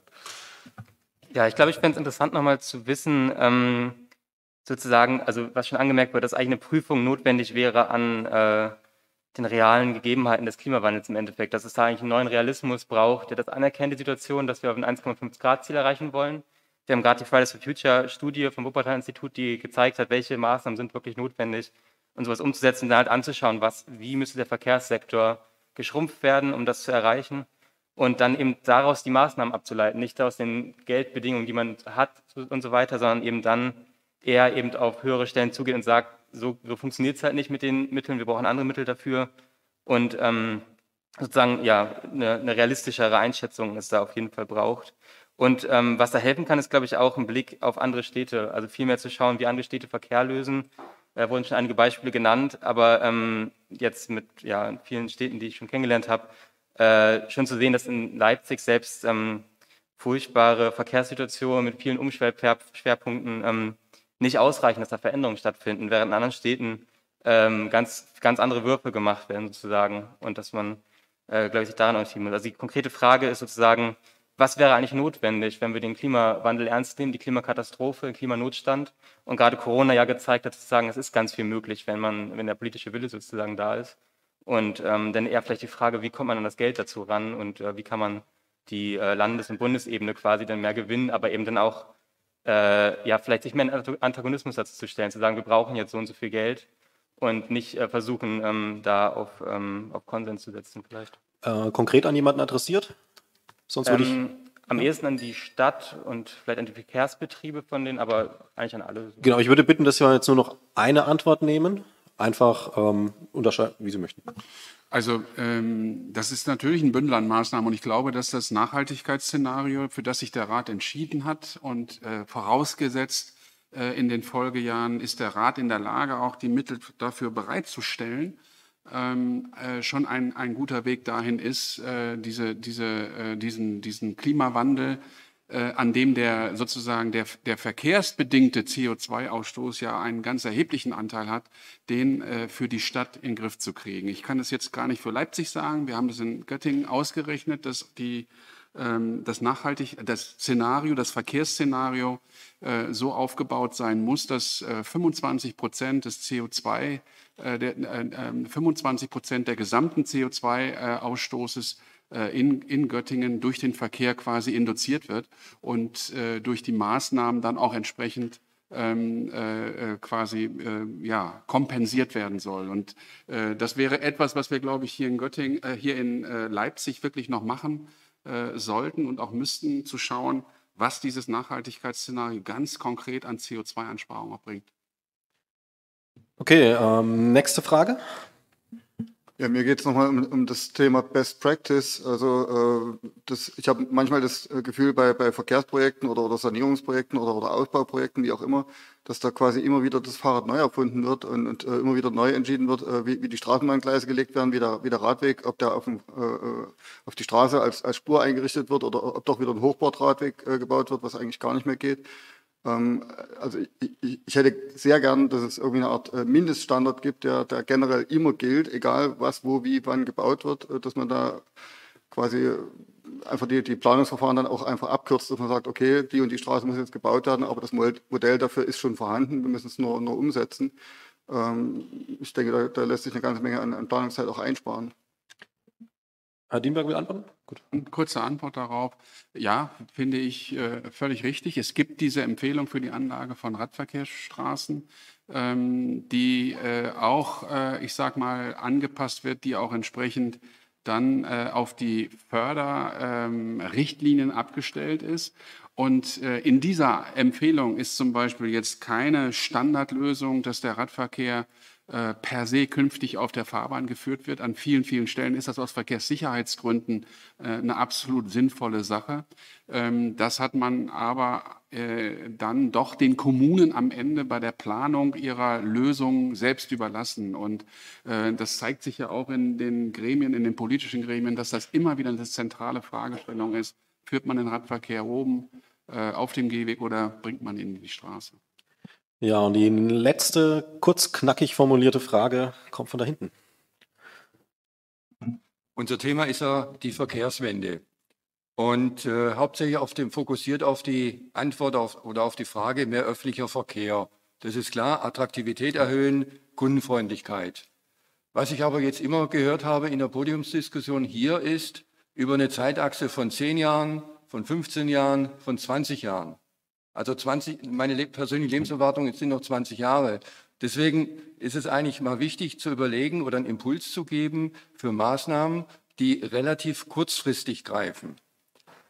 Und dazu habe ich mir mal die Frage gestellt, wie ist eigentlich die Struktur der Kunden des öffentlichen Nahverkehrs?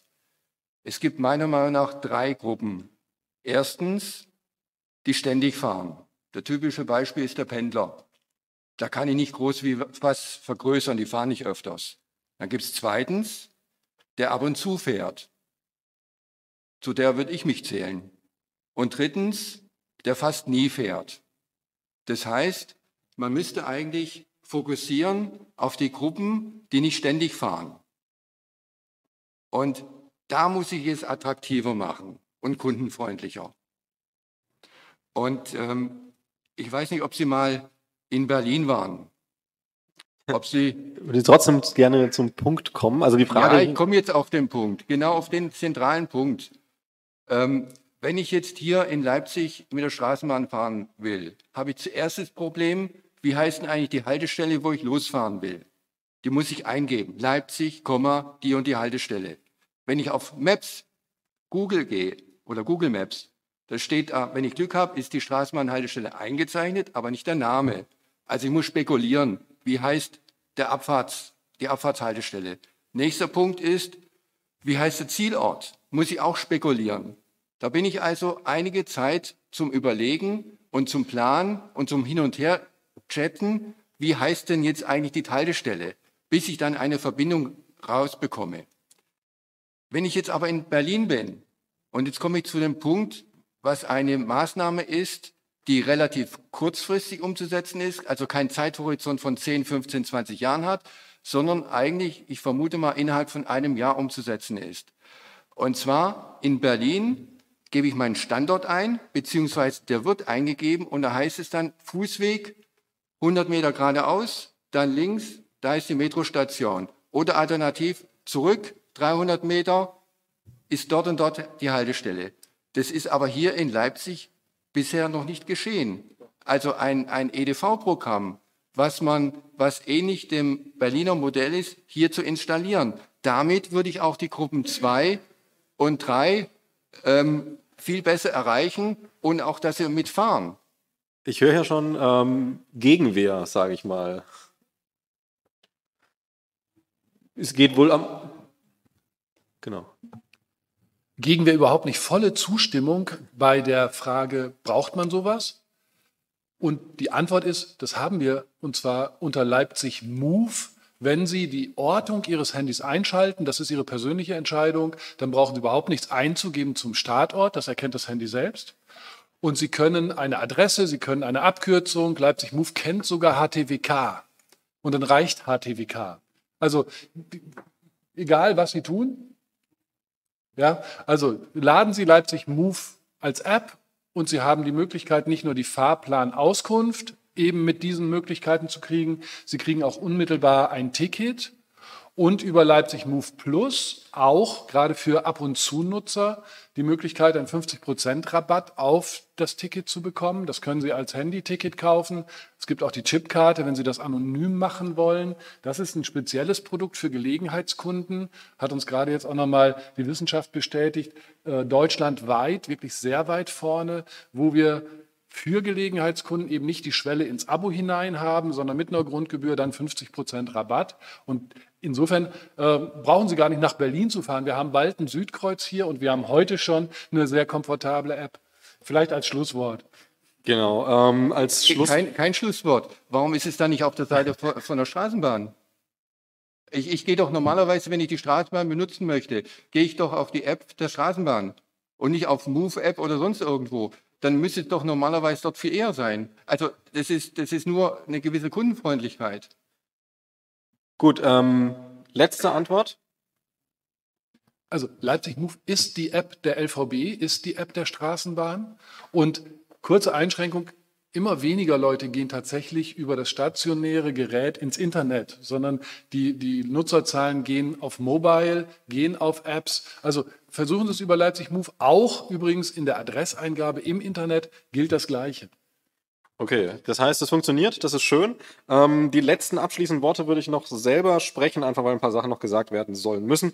Also ein Gedanke, der, glaube ich, für alle nochmal ganz gut ist, weil das, das kam auch von Ihnen, das war fand ich schade, dass das jetzt gar nicht so zum Thema wurde, ist, ähm, das Problem, was wirklich ähm, zum Denken anregen sollte, ist, naja, Maßnahmen in 15, 20 Jahren, hm, wie schaut es dann hier schon aus? Der Klimawandel, der gibt halt äh, deutlich mehr Gas. Um ein Beispiel zu nennen, ähm, die Permafrostböden sollen in Sibirien in 90 Jahren tauen. Hoppla, stimmt ja gar nicht.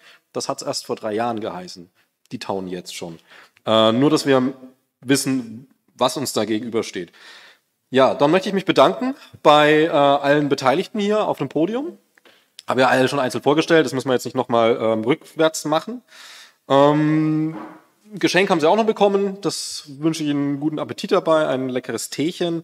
Ähm, Hinweis zum Mitschnitt dieser Veranstaltung wird es dann geben. Das kann sein, dass es noch irgendwie dauert ein paar Minütchen. Wir sind alle ehrenamtlich, die das hier machen. Äh, aus S4F, also S4F für Scientists for Future, minus leipzig.de gibt es dann sicherlich auch noch weitere Hinweise oder wo dieser äh, Mitschnitt dann genau zu finden ist. Ähm, Fragen, wenn es weitere Fragen gibt, äh, würde ich sagen, die bitte nicht an SVF Leipzig schicken, sondern ähm, die LVB hat äh, eine Adresse, der Herr Dienberg hat eine Adresse, seine Privatadresse jetzt vielleicht nicht, aber die E-Mail-Adresse, Postadresse äh, vom Amt, das alles zu finden, gilt für alle anderen hier auch auf dem Podium. Ähm, ja, dann möchte ich noch einen Hinweis machen, weil wir schon bei Veranstaltungen sind, und zwar am 5.11. Ähm, Professor Kammern ähm, zum Thema Pflanzenkohle ein Webseminar, das ähm, auch im Rahmen Harald der Scientists for Future stattfindet. Ist richtig? Ja. Genau, ja, sagt er. Das heißt, das ist sehr ans Herzen gelegt. Ähm, ich freue mich, für die, dass die Runde sehr, sehr ergiebig war. Wir konnten natürlich in vielen Dingen nicht ins Detail gehen, liegt an der Frage der Zeit, sonst wird man morgen Nachmittag noch da sitzen. Aber jeder von Ihnen möchte ja bestimmt auch ein angenehmes, möglichst arbeitsfreies Wochenende. Und damit sage ich auf Wiedersehen.